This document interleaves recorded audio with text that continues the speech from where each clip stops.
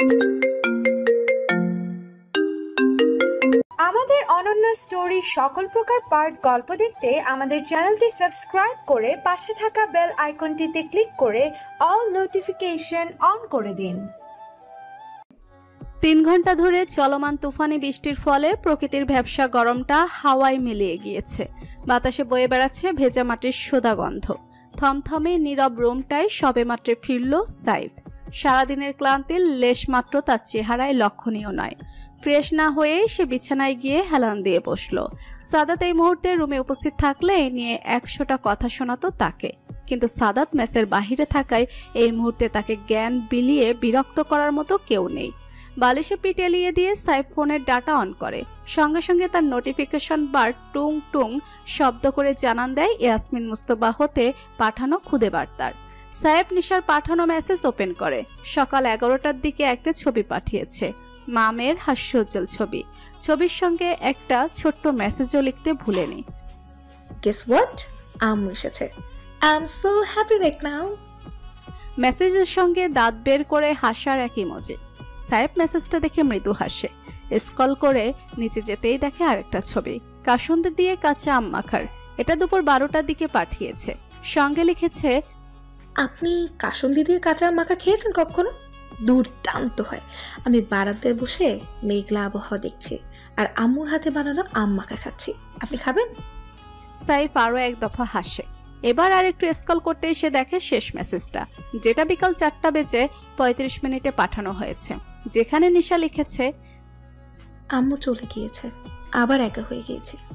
সাইফ এবার মেসেজের রিপ্লাই দেয়। আপনার মন খারাপ মিস ইয়াসমিন? নিশা অনলাইনেই ছিল। সে প্রায় সঙ্গে সঙ্গে মেসেজটা সিন করে রিপ্লাই করল। আপনি ফ্রি আছেন? একটু ভিডিও কলে আসবেন? এক্ষুনি?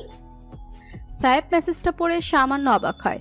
লেফটেন্যান্ট কর্নেলের ভিত মেয়ে এমন জরুরি তলবে তাকে কেন ভিডিও কলে আসতে বলছে? সাইব আচ্ছা লিখে রিপ্লাই দিয়ে সামান্য সোজা হয়ে বসে। পরপর নিজে ভিডিও কল দেয়। নিশা তৎক্ষণাৎ কলটা রিসিভ করতেই সাইব ফোনের স্ক্রিনে দেখতে পায় একটা হাস্যোজ্জ্বল রমণীর মুখশ্রী। মাথার অর্ধেক চুলগুলো পিছনের দিকে নিয়ে খুব সম্ভবত ক্লাচার দিয়ে আটকানো। উজ্জ্বল মুখখানি একগাল হেসে বলে ওঠে আপনাকে একটা জিনিস দেখাবো। কথাটুকু বলেই নিশা ব্যাক ক্যামেরা অন করে। লম্বা কেতের আয়নায় দেখা যায় ফতুয়া এবং স্কার্ট পরিহিত এক নারী কায়া যে ধীর গতিতে হেঁটে সামনের দিকে আগাচ্ছে। সাহেব দৃশ্যটুকু মনোযোগ দিয়ে দেখে। পরপরই সে চাপা স্বরে চেঁচিয়ে ওঠে ইয়াসমিন ফাইনালি নিশাও খুশিতে চেঁচিয়ে বলে ইয়েস আমার খুশিতে নাচতে ইচ্ছে করছে। সাহেব সঙ্গে সঙ্গে বলে ওঠে ডোন্ট ডোন্ট এত দ্রুত লাভঝাপ করার পারমিশন কি ফিজিওথেরাপিস্ট আপনাকে দিয়েছে? কথার কথা বললাম আর কি। আম্মু যাওয়ার পর একা বাসায় বোর হচ্ছিলাম। কি মনে করে একা একা চেষ্টা করতে গিয়ে দেখি নিজে দাঁড়াতে সক্ষম হয়েছি। দেয়ালের সাপোর্ট নিয়ে হাঁটতেও পারছি ধীরে ধীরে। দ্য ফিজিওথেরাপি ওয়ার্ক ফাইনালি এই অত্যাধিক খুশি খবর কাউকে জানাতে না পারে পেট ব্যথা করছিল। আপনাকে প্রথম জানালাম। উফ এক্সাইটমেন্ট চেপে রাখা এত কষ্টকর কাজ, জানতামই না। নিশা এক নাগারে কথাগুলো বলে থামে। সাইফের আচমকা বুক কেঁপে ওঠে। চব্বিশ বছরের এই জীবনে এই ধরনের অভিজ্ঞতা তার প্রথম। কারও খুশির খবরে প্রথম ভাগিদার সে। খুব ছোট্ট এবং সাধারণ একটা বিষয়। কিন্তু সাইফের মতো শিকড়হীন মানুষের কাছে বিষয়টার গভীরতা অসীম। মুখে কিছু না বললেও তার চোখের কোণে ফুটে উঠল হাসির রেখা। নিশে ক্যামেরা নিজের দিকে ফিরিয়ে বিছানায় বসে আপন মনে বলে ওঠে। আব্বু বাসায় আসুক আব্বুর সামনে হেঁটে আব্বুকে চমকে দিব। খুব খুশি হবে। আর আম্মুকেও আগামীকাল যে কোনো মূল্যে এখানে আসার জন্য একদম রাজি করাবো। আম্মুকেও সামনাসামনি হেঁটে দেখাবো। রুহিটা যে কবে ঠিক হবে ও দেখলেও খুব হ্যাপি হতো। সাহেব নিশার হাস্যোজ্জ্বল মুখ দেখে নীরবে। ক্ষণিকের জন্য ভুলে বসেছে ফোনের অপর পাশের এই রমণী তার লেফটেন্যান্ট কর্নেলের একমাত্র মেয়ে। কিন্তু পরপরই তার মনে পড়ে যায় বাস্তবতা। মনে পড়ে যায় নিজেদের মধ্যে বিস্তার ফারাক। সাইফের আকাশকুসুম ভাবনার মাঝে নিশা ফোনের স্ক্রিনের পানে তাকায়। মুহূর্তে নোটিফিকেশন বারে ভেসে ওঠা একটা মেসেজ দেখে তার দৃষ্টিতে অবিশ্বাস খেলে যায়।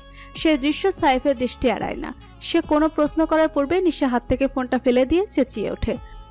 ইয়াসমিন, ঠিক আছেন আপনি? ইয়াসমিন, শুনতে পাচ্ছেন? হ্যালো দ্রুত ছুটে যায় রুমের বাহিরে। সাহেব ব্যস্ত হয়। গলায় একরাশ চিন্তা ঢেলে দিয়ে চেঁচিয়ে প্রশ্ন করে।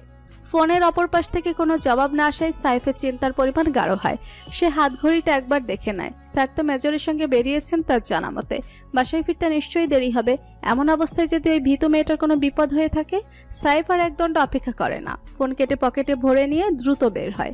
যাওয়ার পথে জোনাতে থাকে বাইকের চাবিটা নিতেও ভুলে না। ঘড়ির কাঁটা ছুটে চলেছে অলস ভঙ্গিতে। বিছানায় গুটিসুটি মেরে ঘুমে আচ্ছন্ন নারী হঠাৎ কেঁপে ওঠে। স্বপ্নের রাজ্যে তাকে তাড়া করে বেড়াচ্ছে তীব্র ভয়। অতীতে তাকে সাহায্যকারী সায়ান্ন তালুকদারের পরিণতি চারিদিকে আতঙ্কভাব ছড়িয়ে দিচ্ছে। বিষাক্ত, শ্বাসরুদ্ধকর স্বপ্নের রীতি ঘটতেই বাণী ধরফড়িয়ে উঠে বসে। ভাইয়ার লাশটা এখনও তার চোখে ভেসে আছে। আতঙ্কে বিভোর বাণীর ঘোর ভাঙে পিঠে কারও আলতো হাতের ছোঁয়ায়। সে চকিতে পাশ ফিরে তাকায়। হিরণের মুখ দর্শন হতেই সে চটে ওঠে। এক ঝটকায় নিজের পিঠ হতে হিরণের হাত সরিয়ে ফেলে। হিরণ তাতে তেমন কোনো প্রতিক্রিয়া দেখায় না। শান্ত গলায় প্রশ্ন করে খারাপ স্বপ্ন দেখছিলে? না বাস্তবতা দেখছিলাম। আপনার আমার ভাইকে খুন করার দৃশ্য স্বপ্ন হয়ে হানা করছিল আমাকে। হিরণ নীরব রয় কোনো প্রত্যুত্তর করে না। বাণীর সময় নেই স্থির হতে অতপর বলে ওঠে ভাইয়ার মৃত্যুর জন্য কোনো না কোনোভাবে আমি দায়ী। এই ভাবনাটা আমাকে প্রচণ্ড মানসিক পীড়া দেয়। খুব না বড় বড় কথা বলেন আমাকে ভালোবাসেন বলে দাবি করেন তাহলে আমার মানসিক যন্ত্রণা বাড়াতে চাচ্ছেন কেন? কেন শুধু শুধু এই সাহায্যকারীর পরিচয় জানতে চাইছেন? আমি ক্ষমা করি না বানি এসব অযথা সেন্টিমেন্টাল ডায়লগ ছেড়ে আমাকে দুর্বল করার চেষ্টা করো না। কোনো লাভ হবে না। বাণীর রাগে নিজেকে জুতোপেটা করতে মন চায়। দুর্জয়ের জীবন আশঙ্কা থাকে এতটাই ভীত করে রেখেছে। যে সে কিনা কোনো দিশা না পেয়ে এই জানোয়ারের কাছে দয়া আশা করেছিল। আশাহত বাণী মনে মনে প্রার্থনা চায়। এই জানোয়ার তো দয়া করবে না রব।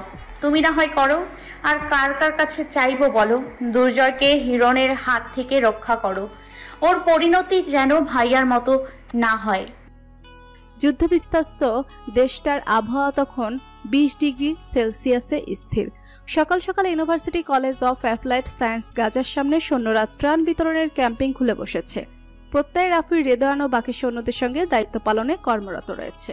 লম্বা লাইনে ত্রাণ পাওয়ার আশায় চাতক পাখির ন্যায় অপেক্ষা করছে অসংখ্য মানুষ। ইতিমধ্যে যারা ত্রাণ পেয়েছে, তাদের সবার মুখের অমূল্য হাসি এই বিষণ্ণ পরিবেশের সৈন্যদের মনে প্রশান্তি এনে দেয়।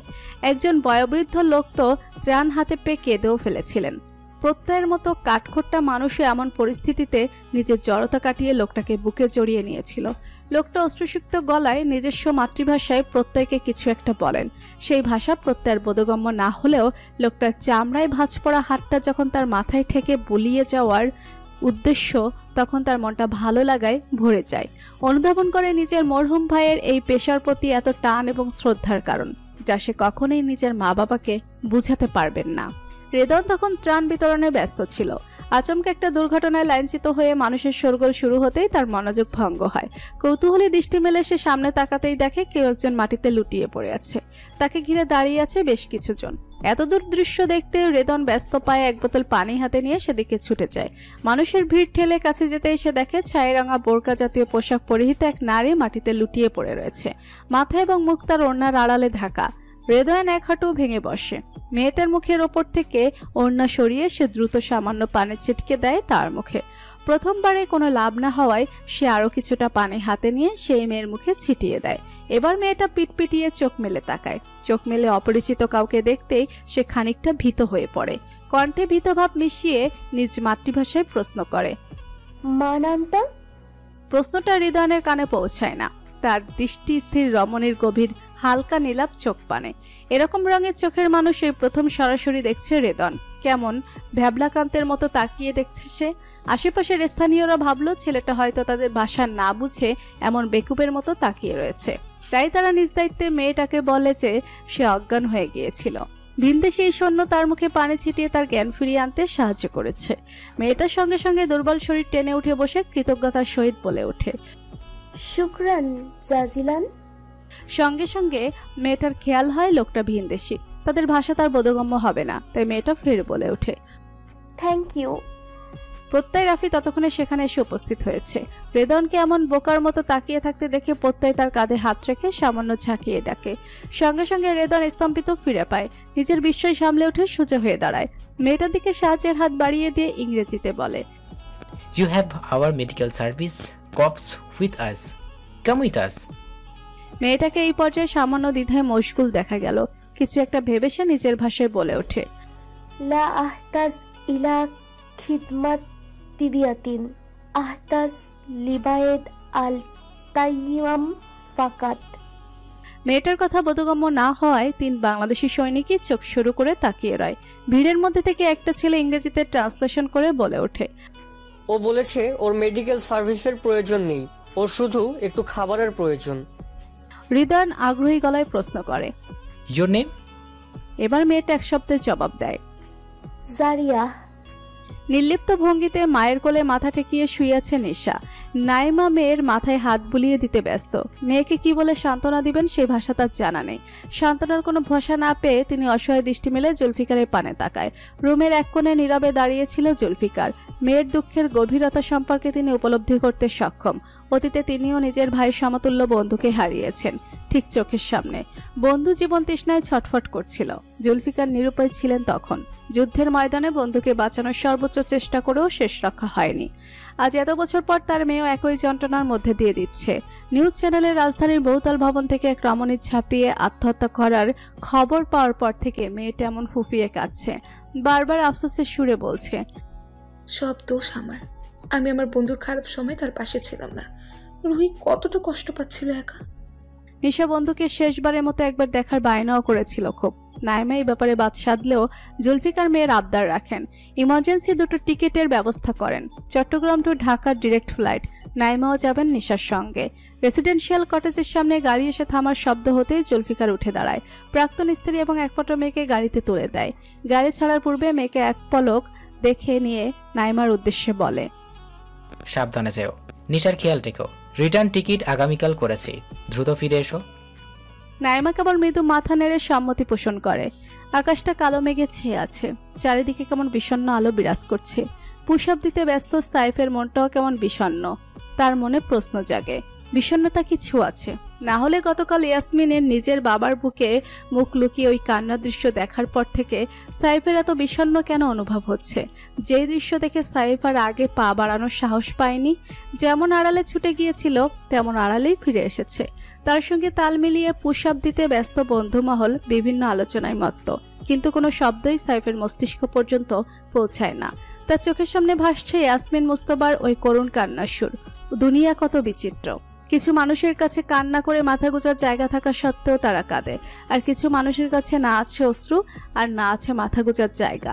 হয়তো এই কারণেই উপরওয়ালা সাইফের মতন মানুষদের এতটা শক্ত বানায়, যাতে তারা সহজে না ভাঙে। কিন্তু দিন শেষে কেউ একজন আসে, ভূমিকম্পের ন্যায়। বিশাল ইমারতে কাপন ধরায়, শক্ত মানুষটার খোলস ভেঙে গুড়িয়ে দেয়। নিউজ চ্যানেল রিপোর্ট কাভার করছেন এক পুরুষ। টিভির এক কোণে তার নাম ভেসে উঠেছে, তুর্য রশিদ। স্পষ্ট গলায় আওড়াচ্ছেন গতকাল রাতে রাজধানীতে ঘটে যাওয়া এক সুইসাইড কেসের বর্ণনা। রুহি মেহরোজের মৃত্যুর খবরটা অতি নীরবেই শুনল দুর্জয়। অতপর টিভিটা রিমোট চেপে বন্ধ করে দিল। মনে পড়ে গেল মৃত্যুর পূর্ব মুহূর্তে ভাইয়ের আবদারের কথা। রুহি মেহরজ নামক মেয়েটার গায়ে যেন আতঙ্কবাদীর প্রেমিকা হওয়ার কলঙ্ক না লাগে। দুর্জয় ভাইয়ের আবদার পূরণ করেছিল। মেয়েটার গায়ে কলঙ্ক লাগতে দেয়নি। তার বাবা মাকে বুঝিয়ে এখান থেকে দূরে পাঠিয়ে দিয়েছিল। কিন্তু শেষ রক্ষা কি হলো? দীপ্ত কি একটা বারও ভাবেনি মেয়েটা এত বড় প্রতারণার ভার বয়ে আদৌ বাঁচতে পারবে কিনা? গুরুত্বপূর্ণ ফোন কলটা বেজে উঠতেই দুর্জয় ভাবনা জগৎ থেকে ফিরে আসে। একটা গোপন দীর্ঘশ্বাস ছেড়ে সে কল রিসিভ করতেই ফোনের অপর পাশ হতে বলে ওঠে, স্যার, সিসিটিভি ফুটেজ হতে এই গাড়ির লোকেশন ট্র্যাক করতে সক্ষম হয়েছে আমরা। এতক্ষণের বিষণ্ণতা একপাশে ঠেলে দিয়ে শীতল পুরুষালী স্বরটা বলে ওঠে। আই এম কামিং আজ ঠিক কতটা দিন পর মেয়েকে এভাবে নিজের বুকের সাথে মিশিয়ে রেখেছে সেই হিসেব ভুলে বসেছে বাণী। শুধু একটু পরপরই মেয়ের মুখে চুমুখে আওড়াচ্ছে আই এম সরি মা। আম্মা তোমাকে একা রেখে গিয়েছিলাম। বন্নি কোনো জবাব দেয় না। সে এতটুকুতেই খুশি যে তার মাম্মা সুস্থ হয়ে গিয়েছে। মনে মনে ঠিক করে, আর কখনো মাম্মাকে রেইনে ভিজতে দিবে না সে। সে চায় না তার মাম্মা আবার অসুস্থ হয়ে হসপিটালে থাকুক এতদিন। খাবার টেবিলে বন্নিকে কোলে বসিয়ে তাকে নিজের হাতে ভাত মেখে খাওয়াতে ব্যস্ত বাণী। হিরণ তখন সব উপর থেকে গোসল সেরে রেডি হয়ে নেমেছে। সিঁড়ি দিয়ে নামতে নামতে এ প্রশান্তিদায়ক দৃশ্যটুকু দেখে তার ঠোঁটের কোনো অস্ফুট হাসি ফুটে ওঠে। নিজের ঘরকে আবার পরিপূর্ণ অনুভব হচ্ছে তার। বাণী অবহেলায় সিঁড়ির পানে তাকাতেই হিরণকে লক্ষ্য করে। হিরণের ঠোঁটের হাসি দেখে সে ঘৃণায় চোখ নত করে ফেলে। হিরণের হাসিও মিয়ে যায়। সে নিচে নামতে রান্নাঘর হতে একজন হেল্পিং অ্যান্ড বেরিয়ে এসে বাণীকে প্রশ্ন করে ম্যাডাম স্যারের জন্য খাবার সার্ভ করব। প্রশ্নটা শুনে বাণীর রাগ হয়। এসব আলকা আদিক্যের জাতীয় প্রশ্ন শুনলেই রাগে তার গা জ্বলে। সে কাট কাট কলায় জবাব দেয় এসব তো আমার দেখার বিষয় না। যার যখন খেতে ইচ্ছে হবে সে তখন খেয়ে নেবে। হেল্পিং হ্যান্ডের মুখ কালো হয়ে আসে। হিরণ নিজেই আগ বাড়িয়ে বলে খাবার সার্ভ করতে হবে না আমার খিদে নেই। বনি ঘাড় গুড়িয়ে পাপার দিকে তাকায় দাঁত বের করে হেসে বলে পাপা হিরণ মেয়ের পানে তাকিয়ে মৃদু হেসে হাত ঘড়িতে সময়টা দেখে নেয়। বের হবে সে এখন। যাওয়ার আগে টেবিলে বসে থাকা বানের দিকে এগিয়ে যায়। মাথা সামান্য নুয়ে বন্নির কপালে চুমু খায়, তবে তার দৃষ্টি স্থির বাণীর মুখপানে। বাণী কঠিন হয়ে চুপচাপ বসে রয়। হিরণ বেরিয়ে যাওয়ার আগে শুধু মেয়ের কানে কানে বলে যায়, মাম্মাকে বেশি বিরক্ত করো না। সব দুষ্টুমি জমিয়ে রেখো। পাপা আসলে পাপাকে ইচ্ছে মতো জ্বালিও। হিরণ ঘর থেকে বেরিয়ে সোজা গাড়িতে উঠে বসে। ড্রাইভিং সিটে আগে থেকেই ইবাদ বসেছিল। হিরণ এসে পাশে বসতেই সে গাড়ি স্টার্ট দেয়। ড্রাইভিং এর ফাঁকে ফাঁকে আর চোখে সে স্যারের ক্ষতবিক্ষত মুখটা দেখে নেয়। মনে মনে খুব মায়া হয় তার। স্যারকে এই ক্ষতকে উপহার দিয়েছে তা তার ভালো করেই জানা আছে। বাণী ম্যাডাম ছাড়া আর কারও সাহস নেই এমনটা করার। রাগে ইবাদ অস্ফুট বলে ওঠে। পাষণ্ড। হিরণের মনোযোগ ফোনে স্থির ছিল কিন্তু ইবাদের অস্ফুট বলা কথাটা তার কর্ণগোচর হয়। সে চোখ তুলে প্রশ্ন করে কাকে বাসান বলছো? ইবাদ নিজের রাগটুকু চেপে রাখতে পারে না অতি সাহস জুগিয়ে বলে ওঠে স্যার বেয়াদবি ক্ষমা করবেন কিন্তু বানি ম্যাডাম কাজটা মোটেও ভালো করেনি। নিশানা আরেকটু এপাশ ওপাশ হলেই তো আপনার চোখের খুব বড় কোনো ক্ষতি হয়ে যেত। হিরণ ভুরুকুচকে বলে কিন্তু সেরকম তো কিছু হয়নি। আর তুমি কি বাণীকে উদ্দেশ্য করে ওই শব্দ ব্যবহার করেছ? উনি পাষাণ না হলে কি আপনার সাথে এমনটা করতে পারতো? নারী জাতির অন্যতম গুণ নাকি হলো মায়া? কিন্তু ওনার মধ্যে কেন আপনার প্রতি মায়া কাজ করে না? এতটাই নির্দয় কেন উনি স্যার? ইবাদের চাপা ক্ষোভ হিরণকে মৃদু হাসতে বাধ্য করে। সে শীতল গলায় বলে কে বলেছে ওর মধ্যে মায়া নেই? ওর সকল মায়া একজনকেই ঘিরে। বহনি। ওর মায়ের কেন্দ্রবিন্দু। ইবাদ তাচ্ছিল্যপূর্ণ হেসে শোথায় স্যার আপনি কি ভুলে গিয়েছেন বন্যের জন্মের ঘটনা? হিরণ নীরব বনে যায়। তার চোখের সামনে ভেসে ওঠে অতীত। প্রেগনেন্সির সম্পূর্ণ জার্নিতে বাণী উম্মাদ আচরণ করেছিল। সুযোগ পেলে আত্মহত্যা করার চেষ্টা করত। নিজের প্রতি যত ধরনের অবহেলা সম্ভব সব করেছিল। হিরণের উপর দিয়ে তখন অন্যরকম এক ঝড় বয়ে যাচ্ছিল। দু হাজার উনিশ সালের মে মাসের ঘটনা, যখন বন্যা এই পৃথিবীতে এসেছিল। কি ভয়ঙ্কর কালবৈশাখীর সম্মুখীন হয়েছিল চট্টগ্রাম শহরটা। নিরাপত্তার খাতিরে হিরণ বাণীকে হসপিটালে নিয়ে যায়নি। বাড়িতেই ডক্টর নাচ সব জড়ো করে ফেলেছিল। কালবৈশাখীর সেই রাতে বাচ্চা মেয়েটা দুনিয়া এসেছিল। কিন্তু ডক্টর হুমায়রা জানায় বাচ্চাটা খুব দুর্বল। ক্ষীণতার নিঃশ্বাসের গতি। চব্বিশ ঘন্টাও যদি টিকতে পারে, তবে তা মেরাক্কেল হবে। বাণী তখন প্রসম বেদনা কাটিয়ে অচেতন অবস্থায় ছিল। হিরণ ছিল দিশেহারা। কুলকিনারা খুঁজে পাচ্ছিল না কেন। অদ্ভুত এক অসহায়ত্বের মধ্যে দিয়ে সেই রাতটা পার করে সে খুব সকালে যখন বাণীর জ্ঞান ফিরে, তখন ডক্টর হুমায়রা বাণীকে বাচ্চার অবস্থার কথা জানায়। বাণীর মধ্যে কোনো উৎকণ্ঠা ছিল না। ছিল না কোনো চিন্তার ছাপ। সে নির্লিপ্ত রয়। বাচ্চাকে তার কাছে এনে দেওয়ার পর সে মুখ ফিরিয়ে নেয়, কোলে তুলে নেয় না। হিরণ এবং বাচ্চাটার প্রতি তার মনে পুষেছিল তীব্র ঘৃণা। হিরণ অবাক হয় না। ওই পরিস্থিতিতে বাণীর এরকম আচরণই স্বাভাবিক ছিল। কোনো উপায়ন্তর না পেয়ে হিরণ সাহস করে নিজেই মেয়েকে কোলে তুলে নেয়। দীর্ঘ জীবনে সেই প্রথম হিরণ কোনো বাচ্চার সান্নিধ্যে এসেছিল, তাও নিজের বাচ্চা। ডক্টরকে বাণীর খেয়াল রাখতে বলে। বন্নিকে নিয়ে সে নিজের রুমের সিঙ্গেল সোফাটায় নীরবে সারাদিন বসে রয়। নিজের বলিষ্ঠ হাতের বন্ধনে দুর্বল বাচ্চাটাকে একটা কবুতরের ছানা মনে হচ্ছিল হিরণের। খুব নরম হালকা তুলতুলে। মুসলিম রীতি অনুযায়ী বাচ্চা জন্মের সঙ্গে সঙ্গে সর্বপ্রথম তাকে কোলে তুলে তার কানের কাছে আজান দিতে হয়। কিন্তু হিরণ সেসব রীতিনীতির তোয়াক্কা না করে মেয়ের কানের কাছে সর্বপ্রথম উচ্চারণ করে। তুমি কি আমার ফুল? দুর্বল বন্যী চোখ মেলে তাকায় না। হিরণ ফের স্থির দৃষ্টিতে মেয়ের পানে তাকায়। তার মন জবাব দেয় এই বাচ্চাটা তার ভুল হতে পারে না। হিরণের কীর্তিকলাপ ভুল হলেও এই বাচ্চাটা কোনো ভুল নয়। এত স্নিগ্ধ একটা প্রাণ বড় চোর হিরণের জীবনে শ্রেষ্ঠ প্রাপ্তি হতে পারে। হিরণ কিছু একটা ভেবে ফের ফিসফিসিয়ে বলে ওঠে। তুমি আমার বউনি ভাগ্য সুপ্রসন্ন ছিল বলেই হয়তো বন্নি বেঁচে গিয়েছিল তবে শরীর তখনও অত্যাধিক দুর্বল। স্বাভাবিক বাচ্চাদের তুলনায় ওজনটাও যথেষ্ট কম। পেটে থাকাকালীন মায়ের শারীরিক অযত্নের ফলে পুষ্টিহীনতা দেখা দিয়েছিল তার। দিন পেরিয়ে সপ্তাহ আসে। দেখতে দেখতে একুশটা দিন পার হয়। বাণী বন্নির মুখ দেখতেও নারাজ রয়। কেউ ভুল করেও বন্নিকে তার রুমে নিয়ে আসলে সে চিৎকার, চেঁচামেচি করে তাকে তাড়িয়ে দিত। হিরণ তখন বন্নিকে নিয়ে দিশেহারা। ডক্টর সাজেস্ট করেছিল পুষ্টির ঘাটতি পূরণের জন্য বেস্ট ফিডের বিকল্প নেই। কিন্তু বাণীর ক্ষোভের কারণে হিরণ বাধ্য হয়ে বন্নিকে ইনফ্যান্ট ফর্মুলা মিল্ক তৈরি করে খাওয়াতো। একুশতম দিনে হিরণ সাহস সঞ্চয় করে বন্নিকে নিয়ে বাণীর রুমে প্রবেশ করে। বেশ রাত হয়, বাণী তখন ঘুমে বিভোর। হিরণ নিঃশব্দে বন্নিকে বিছানায় বাণীর একপাশে শুয়ে দেয়। অতপর দুপাশে বালিশ দিয়ে বর্ডার টেনে দেয়, যেন ভুল করে বাণী ঘুমের ঘরে বন্নির উপর না এসে পড়ে, কিংবা বন্নি নিচে না পড়ে যায়। সন্তর্পণে কাজটুকু শেষ করে হিরণ রুম থেকে বেরিয়ে যায়। দরজার অপর পাশে দাঁড়িয়ে নীরবে অপেক্ষা করতে থাকে।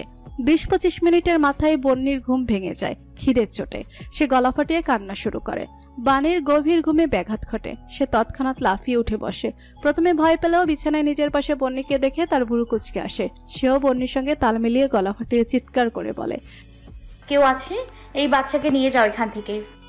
বানের চিৎকার শুনে নিচ থেকে একজন হেল্পিং হ্যান্ড দৌড়ে আসে। কিন্তু দরজার বাইরে হিরণকে দাঁড়িয়ে থাকতে দেখে সে থেমে যায়। হিরণ চোখের ইশারায় চলে যেতে বললেই সে মহিলা সুরসুর করে নিচে চলে যায় সময় গড়ায়। কিন্তু কেউ আসে না। বাণী বিরক্তিতে দু হাতে নিজের কান চেপে ধরে। বন্যির কান্না থামে না বরং ক্রমান্বয়ে আরও বাড়তে থাকে। বাণী দুই হাতে নিজের মাথায় চুল মুঠো করে ধরে চেঁচিয়ে ওঠে। চুপ করবে তুমি? কেন যন্ত্রণা দিচ্ছ?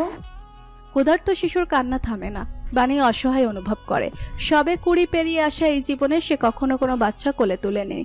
তার জানা নেই একটা নবজাতক শিশুর সঙ্গে কীভাবে ডিল করতে হয়। সে ফ্যালফ্যাল করে বন্যের দিকে তাকিয়ে থাকে।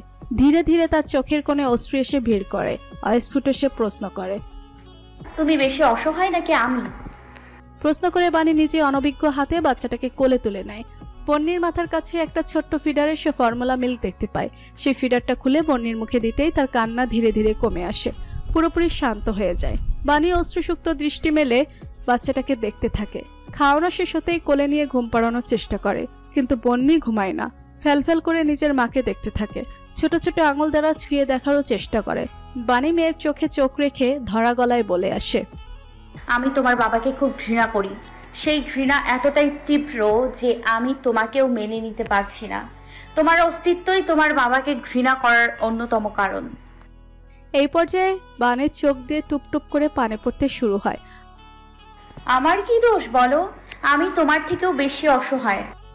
বন্যি মনোযোগ শ্রোতার মতো মায়ের সকল অভিযোগ শুনতে ব্যস্ত। বাণী রুগ্ন মেয়ের পানে তাকিয়ে বলতে থাকে। I'm sorry I'm really sorry তুমি আমাকে খুঁজেছো খুব তাই না? আমি আমার অনুভূতি বুঝে উঠতে পারিনি। এখনও পারছি না। তোমার এই অবস্থা আমার জন্য হয়েছে তাই না? আমার অবহেলার কারণে তুমি এত দুর্বল। আমি এসবের জন্য প্রস্তুত ছিলাম না বিশ্বাস করো। তুমি অনাকাঙ্ক্ষিত আমার জন্য। আমি খুব খারাপ, মা। আমাকে মাফ করে দাও। বাচ্চা, প্লিজ মাফ করে দাও। কথাগুলো বলতে বলতে বাণী ফুফিয়ে কেঁদে ওঠে।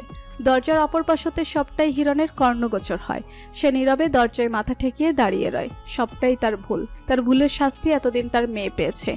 তার ভুলের শাস্তি এতদিন বাণী পেয়েছে। আর নিজের ভুলের শাস্তি হিসেবে সে মানসিক যন্ত্রণা ভোগ করছে। সেই রাতের পর থেকে গত নটা মাস ধরে সে বিবেকের দংশন দ্বারা তাড়িত হচ্ছে। প্রেগনেন্সির সময় বাণী যতবার সুইসাইড অ্যাটেম্পে ট্রাই করেছে, প্রত্যেকবার হিরণের নিঃশ্বাস রুদ্ধ হয়ে আসতো। রাতের ঘুম উবে গিয়েছিল। চোখ বুঝলেই মনে হতো এই বুঝি বাণী আবার কিছু একটা করে বসল।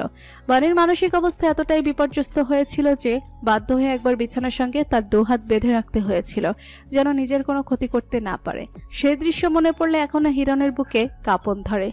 অতীত যাত্রা সেরে হিরণ চোখ মেলে তাকায়। জন্মের পর বাণী একুশ দিন নিজের মেয়ের থেকে মুখ ফিরিয়ে রেখেছিল, এটা সবার চোখে পড়েছে। কিন্তু বাণী ঠিক কি কারণে এরকম আচরণ করেছিল, তা সকলের অজানা। হিরণ একটা দীর্ঘশ্বাস ছেড়ে ইবাতের উদ্দেশ্যে বলে, বাণীকে কখনো ভুল বুঝবে না ইবাত। ও বৌনিকে খুব ভালোবাসে। তুমি শুধু আমার পক্ষের ঘটনার সাক্ষী, তাই এমনটা বলছো। বাণীকে বোঝার সাধ্যি তোমার নেই। হিরণের এহনো কথা শুনে ইবাদ বিরক্ত হয়। লোকটা কিসের তৈরি? এখনও তিনি বাণী ম্যাডামের হয়ে সাফাই গেছেন ফিলিস্তিনের সময় তখন বিকাল সাতটা বেজে পঁয়ত্রিশ মিনিট। ত্রাণ বিলানোর কাজ শেষ করে সৈন্যরা যে তার তাঁবুতে অবস্থান করছে তখন। রাতের খাবার কিছুক্ষণ আগে সেরেই যে যার তাঁবুতে প্রবেশ করেছে। সারাদিনের ক্লান্তির ফলে সবাই এখন বিশ্রাম নেওয়ার প্রতি অধিক মনোযোগী। আগামীকাল সকালের আগে কেউই আর কাউকে বিরক্ত করবে না। ঠিক এই সূচকে প্রত্যয় রাফি এবং হৃদন নীরবে নিজেদের তাঁবু ছেড়ে বেরিয়ে আসে। আর মাত্র তিন দিন এই দেশে আছে তারা। এই তিন দিনের মধ্যেই তাদের সত্যিটা উদ্ঘাটন করতে হবে, যে কোনো মূল্যে। রহস্য উদ্ঘাটনের প্রথম ধাপ হিসেবে ট্রেস করা লোকেশনটা গুগল ম্যাপে বসিয়ে জায়গাটা এখান থেকে ঠিক কতটা দূরে তা মেপে নেয় তিনজন। পায়ে হেঁটে গেলে প্রায় এক ঘণ্টা দূরত্ব। তিন শূন্যের জন্য এক ঘণ্টা পায়ে হেঁটে যাওয়া খুব বড় কোনো বিষয় নয়। কিন্তু সকলের দৃষ্টি এড়িয়ে বিপদহীনভাবে উক্ত স্থানে পৌঁছানোটাই আসল বিষয়। কারও দৃষ্টি যেন আকর্ষণ না হয় সেজন্য প্রত্যয়, রাফি, রিদন, ইউনিফর্ম ছেড়ে সিভিল গেট আপে রেডি হয়েছে। নিরাপত্তার জন্য সঙ্গে করে নিয়েছে সম্পূর্ণ লোডেড পিস্তল। প্রত্যয়, রাফি, রিদন তখন কেবল আবদুল্লাহ আজম মসজিদ পেরিয়ে সরু পথ ধরে সাবধানে এগিয়ে যাচ্ছে। আচমকা রাফি পায়ের গতি থামিয়ে দাঁড়িয়ে যায় হিসিয়ে বলে, আমার কেন মনে হচ্ছে কেউ আমাদের ফলো করছে? রাফির কথা শুনতে প্রত্যয় ও হৃদন সতর্ক হয়ে চারিদিকে তাকায়। কিন্তু নিজেদের ত্রিসীমানায় কোনো মানুষের অস্তিত্ব না দেখে তারা আবার সামনের দিকে এগিয়ে যাওয়া শুরু করে। হঠাৎ আবার পেছনে শুকনো পাতা মারানোর শব্দ হতে তিনজন সতর্ক হয়ে যায়। বিচ্ছিন্নভাবে চারিদিকে কারও অস্তিত্ব খুঁজতে শুরু করে। হৃদন হাতের টর্চের আলোর সাহায্যে এগিয়ে যায়, সরু পথের ধারে একটা ছোট টিলার আছে। টিলার চারিদিকে ঘুরে ঘুরে আলোর সাহায্যে কাউকে খুঁজতে গিয়েই আচমকা সে ভয়ে চাপা চিৎকার করে ওঠে। প্রত্যয়ার রাফি বেশি দূরে ছিল না। তারা হৃদয়ানের ভিতর চিৎকার শুনতে পেরে সঙ্গে সঙ্গে সেই টিলার কাছে এগিয়ে যায়। এরকম অন্ধকার জায়গায় লম্বা বোরখার ন্যায় সাদা আলখেল্লা পরিহিত রমণীকে দেখে যে কেউ ভয় পেতে বাধ্য। মাথার অর্ধেক ভাগ তার সবুজ রঙ একটা শাল দিয়ে ঢাকা। তার হালকা নীলাপ চোখ পানে তাকিয়ে হৃদয়ান অবাক গলায় বলে জারিয়া? জারিয়া ইংরেজি বুঝতে পারে কিন্তু বলার অভ্যাস নেই বলে সে এতটা গুছিয়ে বলতে পারে না। তবুও অগোছালো শব্দে ইংরেজিতে সে জানায়। আমাদের ফলো করছিল কেন? আমি জানি আপনারা কোনো গোপন উদ্দেশ্য নিয়ে এখানে এসেছেন। জারিয়ার কথা শুনে তিনজনই বেশ অবাক হয়। হৃদয়ন প্রশ্ন করে তোমার এমনটা কেন মনে হলো? আমি আপনাদের ওপর নজর রাখছিলাম। আপনাদের দৃষ্টি সন্দেহজনক ছিল। জারিয়ার কথা শুনে রাফি বাংলায় বিড়বিড়িয়ে বলে ওঠে। এই মেয়ে গোয়েন্দা সংস্থার অধিদপ্তরে কাজ করে নাকি? হৃদয়ন সেদিকে পাত্তা না দিয়ে কিশোরী মেয়েটাকে আগাগোড়া পরখ করে নেয়। বয়স আঠারো ছুঁয়েছে কিনা সন্দেহ। তবুও এত বড়দের মতো কথাগুলো কেন যেন মেয়েটার সাথে মানানসই লাগছে? হৃদয়ন ধীমে গলায় প্রশ্ন করে। তোর উদ্দেশ্য কি জারিয়া? আমি আপনাদের সাহায্য করতে চাই। প্রত্যয় ভুরুকুচকে প্রশ্ন করে। আর ইউ সিরিয়াস হ্যাঁ। হৃদয়ান এবার শীতল গলায় প্রশ্ন করে। বিনিময়ে তোমার কি চাই জারিয়া? নিজের রুমে হাত পা বাঁধা অবস্থায় বসে আছে এক আহত পুরুষ। তরতাজা শরীরটা রক্তে মাখামাখি হয়ে আছে। গায়ের পাঞ্জাবিটার লেগে থাকা রক্ত শুকিয়ে বৃষ্টি গন্ধ বেরিয়েছে। সেই পাঞ্জাবির চারিপাশে ভিড় জমিয়েছে নোংরা মাছির দল। আচমকা কারও আগমনের আভাস পেতেই শমশের মজুমদার চোখ তুলে তাকায়। সামনে দাঁড়িয়ে থাকা ব্যক্তিটাকে দেখে হাসে, অতপর মুখ বিকৃত করে বলে, তুই হচ্ছে সেই কুকুর, যার লেস আজীবন বাঁকাই থাকবে। কখনো সোজা হবে না। সুযোগ পেতেই কামড়ে দিয়েছিস, শালা অকৃতজ্ঞ। হিরণ নীরবে কতটুকু শুনে হেসে শমশেরের বরাবর একটা চেয়ারে বসে করুণার সুরে বলে আই এম শিওর আমার থেকে বড় হারামজাদা তুই এই জগতের দ্বিতীয়টা খুঁজে পাবি না। আমাকে বেশি দিন আটকে রাখতে পারবে না হিরণ। শীঘ্রই আমার খোঁজ পড়বে। আমি এই মিশন সব থেকে গুরুত্বপূর্ণ সদস্য। আমাকে ছাড়া কোনো ডিল হওয়া অসম্ভব। হিরণ শমশেরের কথা শুনতে শুনতে হাতে থাকা ব্র্যান্ডের নিষিদ্ধ পানীয় বোতলটা ছিপে খুলে।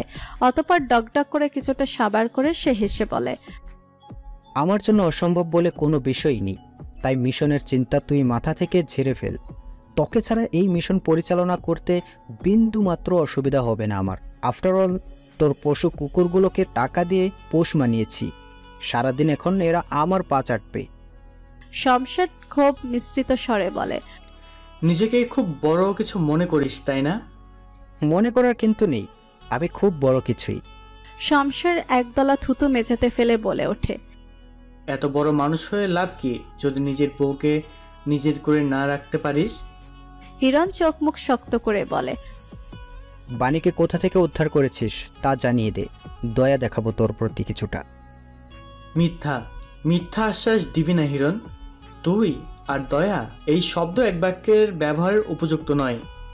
You have no other option আমি কখনোই বলব না তোর কি মনে হয় তুই সত্যটা জেনে আমাকে শেষ করে দিবি আর পরে নিজে শান্তিতে জীবন পার করবি? আমি কখনোই তোকে শান্তিতে থাকতে দিব না ঠিক এই কারণে আমি এই সাহায্যকারী পরিচয় গোপন রাখব যাতে আমি না থাকলেও কেউ একজন গর্ত খুঁড়ে তোকে খুঁজে বের করে। তোর তিলে তিলে গড়া তোলা সব কিছু ধুলিসাৎ করে দেয়। কথাটুকু বলে শমশের বিশ্রী হাসি দেয়। হিরণ হাত ঘড়িতে সময়টা দেখে নেয়। তার কিছু কাজ আছে।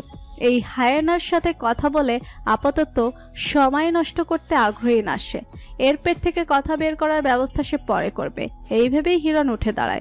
প্রস্থানের জন্য পা বাড়াতেই শমশের পেছন থেকে গা জ্বালানো হাসি দিয়ে বলে ওঠে তবে একটা বিষয় তোকে জানাতে পারি। তোর বউ এতদিন এক ব্যাচেলর ছেলের সঙ্গে একা এক বাসা ছিল। সারা রাতও কাটিয়েছে ওই ছেলের সাথে। সাহায্য করার বিনিময়ে নিশ্চয়ই ওই ছেলে তোর বউকে এভাবে ঘরে সাজিয়ে রাখিনি, যা আর কেউ পারেনি, তা তোর বউ পেরেছে। তোর একদম জায়গা মতো আঘাত করেছে। তোর পুরুষে তো চুলকানি মেখে দিয়েছে। হিরণের কপালের পাশের রগটা রাগে তখন দপদপ করছে। সে সাপের ন্যায় ফোঁসফোঁস করতে করতে এলোমেলো দৃষ্টি মেলে চারিদিকে তাকায়। সঙ্গে সঙ্গে সে রুমের এক কোণে মেঝের উপর একটা হাতুড়ি দেখতে পায়। হিরণ একদণ্ড অপেক্ষা না করে সেই হাতুড়িটা হাতে তুলে উল্টো ফিরে ক্ষিপ্র গতিতে সেটার সাহায্যে শমশেরের মাথায় আঘাত করে। কেবল একটি আঘাত দ্বারাই সে শমশের নামক অধ্যায়ের ইতি ঘটায়। একটা সিকোয়েন্স মেনটেন করে হাঁটছে চারজন মানুষ। সবার সামনে টর্চ সাথে যেই রমণী হেঁটে চলেছে তার কদম অনুসরণ করছে বলিষ্ঠ তিনজন যুবক। রাতের আধা চিড়ে সব থেকে নিরাপদ রাস্তা ধরে এগিয়ে যাচ্ছে তারা কাঙ্ক্ষিত গন্তব্যে। হৃদয়ন খানিকের জন্য জারিয়ার পানে তাকায় মেয়েটার বয়স কম, তবে বিচক্ষণ খুব। না হয় তখন পর্যন্ত জীবিত থাকতে পারত না। তার মনে পড়ে যায় কিছুক্ষণ পূর্বে জারিয়ার অকপটে বলা কিছু সত্য বলে। আমি স্বার্থহীনভাবে আপনাদের সাহায্য করতে চাইছি না। আবার অর্থনৈতিক কাজেও আপনাদের সাহায্য করব না আমি। আমি জানি আপনারা আমাদের মিত্র। না হয় কখনো আমার ভূখণ্ডের অন্তর্ভুক্ত মানুষদের ক্ষুধা মেটাতে সাহায্যের হাত বাড়িয়ে দিতেন না। আমার একটা ছোট বোন আছে। ওকে নিয়ে যেন কিছুদিন খাবারের অভাবে আমার দিন কাটতে না হয়, সেজন্য আমি আপনাদের সাহায্য করব। বিনিময়ে আপনারা শুধু আমাকে খাবারের ব্যবস্থা করে দিবেন। জারিয়ার ভাঙা ইংরেজিতে বলা কথা সারমর্ম বুঝতে পেরে তিনজন সৈন্যই নীরব বনে যায়। হৃদয়ের নীরবতা ভেঙে বলে ওঠে। তোমার খাবার নিয়ে চিন্তা করতে হবে না। আমরা সেই ব্যবস্থা করে দিব। এখন ফিরে যাও। আমাদের সাহায্যের প্রয়োজন নেই। জারিয়া দৃঢ় গলায় বলে না আমি এভাবেই আপনাদের সাহায্য নিয়ে ঋণী হতে পারব না। আমার বাবা বলতেন কেউ আমাকে সাহায্য করলে আমিও যেন সুযোগ বুঝে সেই সাহায্য ফিরিয়ে দেই। প্রত্যয় সুধায় তোমার বাবা ভালো কথা বলতেছেন জারি যা। কিন্তু সত্য আমাদের সাহায্যের প্রয়োজন নেই। প্রয়োজন আছে। আপনারা যে রাস্তা ধরে এগোচ্ছেন তা নিরাপদ নয়। জারিয়ার মুখে এতটুকু শুনে তিনজন সৈন্যের মুখে মৃদু চিন্তার ছাপ ফুটে ওঠে। জারিয়া তাদের আশ্বস্ত করে বলে চিন্তা করবেন না এই শহরের প্রতিটা অলিগলি চিনি আমি। আপনাদের নিরাপদ রাস্তা ধরে গন্তব্যে পৌঁছে দিব। বিশ্বাস রাখুন। প্রত্যয় হৃদয়ন এবং রাফি কিছুক্ষণ একে অপরের দিকে চাওয়াচাই করে এক সিদ্ধান্তে উপনীত হতেই জারিয়া প্রশ্ন ছুড়ে এখন বলুন আপনাদের গন্তব্য কোথায়। আচমকা প্রত্যয়ের ডাকে কিছুক্ষণ আগের ঘটনাচক্রের স্মৃতিচারণ হতে বেরিয়ে আসে হৃদয়ন। সামনে লক্ষ্য করে দেখে জারিয়া হাঁটা থামিয়ে দাঁড়িয়ে পড়েছে। হৃদয়ন কিছু বলতে নিবে তার আগে জারিয়া ঠোঁটে আঙুল চেপে সবাইকে চুপ থাকার ইশারা করে। সবাই সঙ্গে সঙ্গে পিনপতন নিরাপত্তার ইশারাটুকু মেনে নেয়। জারিয়া যথেষ্ট সাবধানে হাতের টর্চটা নিভিয়ে একটা বাড়ির পেছনে আড়াল হয়ে দাঁড়ায়। তাকে অনুসরণ করে বাকি তিনজনও আড়াল হয়ে দাঁড়ায়। প্রত্যয় হাতের গুগল ম্যাপে চেক করে দেখে তার কাঙ্ক্ষিত গন্তব্যে পৌঁছে গিয়েছে। সঙ্গে সঙ্গে সে নিজের পিস্তলটা বের করে হাতে চেপে ধরে। রাফিয়া হৃদয়ানও একই কাজ করে। জারিয়া আড়াল হতে উকি দিয়ে সামনের বাড়ির দিকে দৃষ্টি স্থির করে। কিছুক্ষণ সময় গড়াতে বাড়ির ভেতর হতে দুজন লোক বেরিয়ে আসে। তাদের দেখতেই জারিয়া চাপাসরে বলে আমাদের এক্ষুনি এখান থেকে যেতে হবে। ফ্লাক্সে করে গরম পানি ভরে রান্নাঘর থেকে বের হয় বাণী। পরিবেশটা কেমন শীতল শীতল। এই আবহাওয়ায় বন্যির না আবার ঠান্ডা লেগে যায়। সেই চিন্তা করে বানি ফ্লাক্সে করে মেয়ের জন্য আলাদা করে গরম পানি নিতে নিচে এসেছিল। রাতও খুব হয়েছে। রুমে ফিরে এই বন্নিকে ঘুম পাড়াতে হবে তার। সিঁড়ির কাছাকাছি যেতে এই বাহির থেকে গাড়ির হর্নের শব্দ ভেসে আসে। বানি একবার ঘাড় ঘুরিয়ে ঘড়ির পানে তাকায়। রাত এগারোটা বেজে পঁয়তাল্লিশ মিনিট। হিরণ ফিরেছে নিশ্চয়। বানিয়া সেদিকে তেমন একটা পাত্তা না দিয়ে সিঁড়ি বেয়ে উপরে উঠে যায়। হিরণ ঘরে প্রবেশ করতে একজন হেল্পিং হ্যান্ড দৌড়ে এসে প্রশ্ন করে স্যার খাবার সার্ভ করব? হিরণ শীতল গলায় বলল কিছুর প্রয়োজন নেই বেরিয়ে যাও সবাই। মহিলাটা সাহস করে বলে স্যার কিছু প্রয়োজন হলে? হিরণের হুঙ্কারে তার বাকি কথা অসম্পূর্ণই রয়ে যায়। বললাম না কিছুর প্রয়োজন নেই সবাই বেরিয়ে যাও না হয় খুব খারাপ হয়ে যাবে। হিরণের হুঙ্কারে উক্ত মহিলা ভয়ে কেঁপে ওঠে। মুহূর্তেই তিনি সহ বাকি হেল্পিং হ্যান্ডরা ঘর থেকে বেরিয়ে যায় যত দ্রুত সম্ভব। সম্পূর্ণ বাড়ি বাহিরের মানুষ শূন্য হতেই হিরণ দ্রুত সিঁড়ি বেয়ে উপরে ওঠে। সঙ্গে সঙ্গে বন্যি রুমের দরজার বাহিরে সে বাণীকে ফ্ল্যাক্স হাতে দাঁড়িয়ে থাকতে দেখে। হিরণের চেঁচামেচি শুনে বাণী কৌতূহল বশত এখানে দাঁড়িয়েছিল কিন্তু এই মুহূর্তে হিরণের ভয়ঙ্কর রূপ দেখে তার মনে হচ্ছে সে খুব বড় ভুল করে ফেলেছে। তার উচিত ছিল হিরণের হুঙ্কার শুনতেই রুমের ভিতর গিয়ে দরজা লক করে ফেলা। নিজের ভুলের জন্য যখন বাণী আফসোস করতে ব্যস্ত সেই সময়টুকুতে হিরণ ত্রস্ত পায়ে তার দিকে এগিয়ে আসে। শক্ত হাতের থাবায় বাণীর বাহু চেপে ধরে তাকে বন্নির রুম হতে কিছুটা দূরে নিয়ে দেয়ালের সঙ্গে চেপে ধরে। ছোট করে সাপের ন্যায় হিসিয়ে প্রশ্ন করে কোন পুরুষের বাসায় উঠেছিলে তুমি? হিরণের চোখের দৃষ্টি আর তার গলার স্বর শুনে বাণীকে আবার ভয় চেকে ধরে। সে মৃদু গলায় বলে বন্যি পানি চেয়েছিল ওকে পানি খাইয়ে ঘুম পাড়িয়ে রুমে এসে পরে কথা বলছি। বানের উত্তর হিরণের মনোপুত হয় না। সে এক হাতে বানের হাতের ফ্লাক্সটা কেড়ে নিয়ে অন্য হাতে বানের গলা চেপে ধরে বলে পরে না এক্ষুনি কথা হবে। কার বাসায় ছিলে তুমি? কোন বেচালার তোমার প্রতি এত মেহেরবান হয়েছে? বাণী ঢোক গিলে গলা সামান্য ভিজিয়ে বলে কোনো ব্যাচেলারের বাসায় ছিলাম না। ওই লোক শমশের মিথ্যে বলেছে। হিরণের ধৈর্য বাঁধ ভাঙে। তার বিধ্বংসী রাগটা মাথা চড়া দিয়ে ওঠে। সে বাড়ির গলা আরেকটু শক্ত করে চেপে ধরে অপর হাতের ফ্লাক্সটা দ্বারা দেয়ালের সজরে আঘাত করতে করতে চেঁচিয়ে ওঠে। মিথ্যে বললে খুন করে ফেলব। একদম মিথ্যে বলবে না। আমাকে দেখলে খুব ঘৃণা লাগে। অন্য পুরুষকে দেখলে ঘৃণা কাজ করে না? বাণীর নিঃশ্বাস আটকে আসার উপক্রম পায়। তার উপর মাথার কাছে দেয়ালে ফ্লাক্সের আঘাতের শব্দ তার মস্তিষ্কে গিয়ে খুব তীক্ষ্ণ ঠেকছে। এরকম একটা পরিস্থিতিতেও বানের নিজেকে ছেড়ে বন্নিকে নিয়ে চিন্তা হচ্ছে। বাচ্চাটা ঘুমায়নি এখনও। ও যদি এখন এখানে চলে আসে, কি বিভৎসকর এক মানসিক আঘাত পাবে তার মেয়েটা? বানের ভাবনার মাঝে হিরণ ফ্লাক্সটা ছুঁড়ে ফেলে বানের গলা আরও জোরে চেপে ধরে। তার মাথা দেয়ালের সঙ্গে আঘাত করতে করতে চেঁচিয়ে ওঠে। কার জন্য? কার জন্য শাড়ি পরেছিলে কোন শুয়োরের বাচ্চার সাথে এতগুলো দিন কাটিয়ে এসেছ? নাম বলো।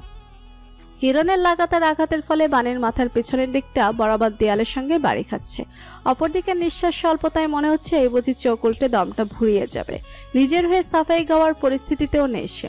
হিরণের হিংস্র চেঁচামেচি থেমে যায় একটা দৃঢ় কোমল স্বরের পিঠে। ব্যথা পাচ্ছে। হিরণের হাতের বাঁধন আলগা হয়ে আসে। ঘাড় ঘুরিয়ে সে নিজের ভয়ঙ্কর দৃষ্টি নিক্ষেপ করে রুমের দরজার বাহিরে দাঁড়ানো ছোট বাচ্চা মেয়েটার পানে। বন্যির চোখে তখন কিছুটা ভয়, কিছুটা বিস্ময় এবং একাকার সমান ঘৃণা। মেয়ের চোখে সে অবিশ্বাস্যকর ঘৃণার সাক্ষী হতে, হিরণের দৃষ্টি হতে হিংস্রতা উবে যায়। নরম ও কমল হয়ে আসা তার দৃষ্টি। বাণী তখন দেয়ালে পিঠ ঠেকিয়ে ফ্লোরে বসে পড়েছে। বুক ভরে নিঃশ্বাস নেওয়ার চেষ্টায় মত্ত সে। দুই হাতে মাথা চেপে ধরে রেখেছে। মাথা মনে হচ্ছে এখনই ফেটে যাচ্ছে। মস্তিষ্ক সম্পূর্ণ দপদপ করছে। মস্তিষ্ক ব্লাঙ্ক এবং চোখের সামনে সবটা ঝাপসা হয়ে আছে তার। হিরণ একপাল বন্যির ঘৃণা ভরা দৃষ্টি দেখে নিয়ে ফের বানের দিকে তাকায়। বাণীর অবস্থা দেখে সঙ্গে সঙ্গে তার ব্রেনের বিবেক সিস্টেম টার্ন অন হয়। সে হাঁটু গেড়ে বাণীর সামনে বসে তার গাল ছুঁয়ে প্রশ্ন করে, বানি আই এম সরি আমি তোমাকে হার্ট করতে চাইনি। বাণী তীব্র যন্ত্রণার মধ্যে হিরণের হাত নিজের গাল থেকে সরিয়ে দেয়। হিরণ অসহায় অনুভব করে, কাকে আগে সামলাবে? বাণীকে নাকি বন্নিকে? এরই মাঝে সে লক্ষ্য করে বাণীর নাক দিয়ে গলগলিয়ে রক্ত বেরিয়ে আসছে। হিরণ ভীত হয়ে যায়। রক্ত আসছে কেন? মাথায় আঘাত পাওয়ার ফলে? সে দ্রুত নিজের পকেট থেকে একটা রুমাল বের করে বাণীর দিকে এগিয়ে যেতে নিলেই ছোট ছোট দুটো হাতের ধাক্কায় পিছিয়ে যায়। বন্নির কণ্ঠে সবটুকু ঘৃণা ঢেলে দিয়ে বলে, মাম্মামের কাছে আসবে না তুমি। তুমি মাম্মামকে হাট করেছ। আই হেট ইউ হিরণ হতবুদ্ধির ন্যায় তাকিয়ে রয় মেয়ের পানে। বন্যির চোখে তখন পানি টলমাল করছে। সে কিছু বুঝতে পারছে না। নিজের সামনের এই হিংস্র লোকটা তার পাপা এই সহজ সত্যিটা তার ছোট্ট মস্তিষ্ক মানতে চাইছে না। কিন্তু নিজের মাম্মার অবস্থা দেখে এই সত্যিটা মানতে বাধ্য হয় সে। আরও একবার জোর গলায় উচ্চারণ করে। আই হেট ইউ তুমি আমার পাপা না। কথাটুকু বলে বন্নি দ্রুত বাণীকে গিয়ে জড়িয়ে ধরে। এতক্ষণ শক্ত থাকলেও রক্ত দেখে সে ঘাবড়ে গিয়েছে বেশ। বাণীকে আঁকড়ে ধরে থরথর করে কাঁদতে থাকে সে। বাণী মেয়ের অবস্থা দেখে সাময়িক সময়ের জন্য নিজের যন্ত্রণাটুকু ভুলে নিজেকে ধাতস্থ করার চেষ্টা করে। এক হাতের পিঠে নাকের রক্তটুকু মুছে মেয়েকে বুকে মিশিয়ে নিয়ে শান্ত করার সুরে বলে মা ঠিক আছে ভয় পেও না কিছু হয়নি মায়ের। বন্যি শান্ত হয় না। বাণী মেয়ের অবস্থা দেখে ঝাপসা চোখ মেলে হিরণের দিকে তাকায় একবার। হিরণ তখন নিশ্চল ভঙ্গিতে তাদের পানেই তাকিয়েছিল। সে বুঝতে পারছে না নিয়তি তাকে কোথায় নিয়ে যাচ্ছে। বাণী ওই অবস্থায় আর কোনো উপায়ন্তর না পেয়ে মেয়েকে তুলে দ্রুত বন্নির রুমের ভেতর গিয়ে দরজা লক করে দেয়। শুধু লোক করেই ক্ষান্ত হয় না, বরং ছিটকেনিটাও তুলে দেয়। অতপর মেয়েকে বুকে মিশিয়ে সে দরজার সঙ্গে পিঠ ঠেকিয়ে ফ্লোরে বসে পড়ে। অবশেষে সেই দিন এসেই পড়ল। বন্নি তার পাপার হিংস্র রূপটা দেখেই ফেলল। বন্যের উপর দিয়ে কি ঝড় বইছে তা আন্দাজ করতে পেরে বাণীর কান্না পায়। সে মেয়ের মাথায় চুমো খেয়ে বলে চুপ থেকো না মা। কেমন লাগছে মাম্মাকে বলো চেপে রেখে যন্ত্রণা বাড়িও না। বন্যি অস্ফুট কেবল আওড়ায় I hate him I hate him I দরজার অপর পাশে পিঠ ঠেকিয়ে বসে থাকা হিরণের কানে পৌঁছায় প্রতিটা শব্দ। শরীর থেকে রুহ বেরিয়ে যাওয়ার কষ্ট কতটা তীব্র হয় সেই সম্পর্কে হিরণের ধারণা নেই। কিন্তু এখন সে যেই ধরনের কষ্ট অনুভব করছে, তা কোনোভাবেই রু বেরিয়ে যাওয়ার কষ্টের তুলনায় কম নয়। তার নিয়তি এমন কেন? দরজার নিচে সামান্য ফাঁক দিয়ে বাণীর গায়ের ওড়নার কিছুটা অংশ বেরিয়ে আছে। হিরণ অসহায়ের নেয় সেই ওড়নার অংশটুকু দু হাতের মুঠোয় পুড়ে নেয়, দুর্বল গলায় বলায় মাফ করে দাও বানি অন্যায় মৃদু টান পড়তে এবং হিরণের কণ্ঠস্বর কানে ভেসে আসতে বাণী তড়িৎ গতিতে বন্নিকে কোল থেকে নামিয়ে দেয়। শরীরের সমস্ত শক্তি দিয়ে একটানে অন্যার অংশটুকু হিরণের আওতা থেকে ছাড়িয়ে নেয়। এতক্ষণে দমিয়ে রাখা কান্নাটা এবার চোখ ছাপিয়ে জল হয়ে বেরিয়ে আসে। আচমকা ফের তার মাথায় কিছুক্ষণ আগের আঘাতের ফলে তীক্ষ্ণ ব্যথাটুকু জাগ্রত হয়। বাণী দুহাতে মাথার চুল টেনে ধরে আর্তনাদ করে ওঠে। তার আর্তনাদ দেখে বন্নি ভীত হয়ে পড়ে। সে বিছানার সঙ্গে গুটিসুটি মেরে সাক্ষী হতে থাকে নিজের মাম্মার এই করুণ অবস্থার। দরজার অপর পাশে বসে থাকা হিরণের কানেও পৌঁছায় বাণীর আর্তনাদ। বাণীর সে আর্তনাদ তার অন্তরের সত্তা কাঁপিয়ে তোলে। দিগদিশা শূন্যের ন্যায় সে হাঁসফাঁস করতে থাকে। এলোমেলো হাতে শার্টের গলার কাছে দুটো বোতাম খুলে ফেলে সে। হুট করে নিজের প্রতি তীব্র ঘৃণা থেকে সে নিজের মৃত্যু কামনা করে বসে। রুমের ভিতরে উপস্থিত এই দুজন মানুষের কষ্টের কারণ হওয়ার থেকে মৃত্যুই শ্রেয়। সরু গলিপথ ধরে হেঁটে চলেছে দুজন ব্যক্তি। এই ভিন দেশের মাটিতেও নিজের পুরুষালী কর্তব্যটুকু পালন করতে হৃদন জারিয়াকে তার ঠিকানা পর্যন্ত এগিয়ে দিতে এসেছে। প্রত্যয় ও রাফি ইতিমধ্যে নিজেদের ক্যাম্পিং এরিয়ায় ফিরে গিয়েছে। আজকে কেবল আড়াল হতে তারা ওই বাড়ি থেকে বেরিয়ে আসা লোক দুটোর গতিবিধি মেপে চলে এসেছে। হৃদয়নদের অনুমান মতে ওই জায়গায় আরও লোক আছে, আর লোকগুলো খুব একটা সাধারণ নয়। সিভিল ড্রেসের আড়ালে এবং কাপড় দিয়ে ঢাকা মুখের আড়ালে লুকিয়ে রেখেছে নিজেদের আসল কোনো পরিচয়। ভাবনা ছেড়ে নিরবতার ইতি ঘটিয়ে হৃদয়নই প্রথম বলে। তোমার পরিবারে শুধু তোমার বোন আছে? জারিয়া এক পল হৃদয়ানের দিকে তাকিয়ে দৃষ্টি নত করে ফেলে।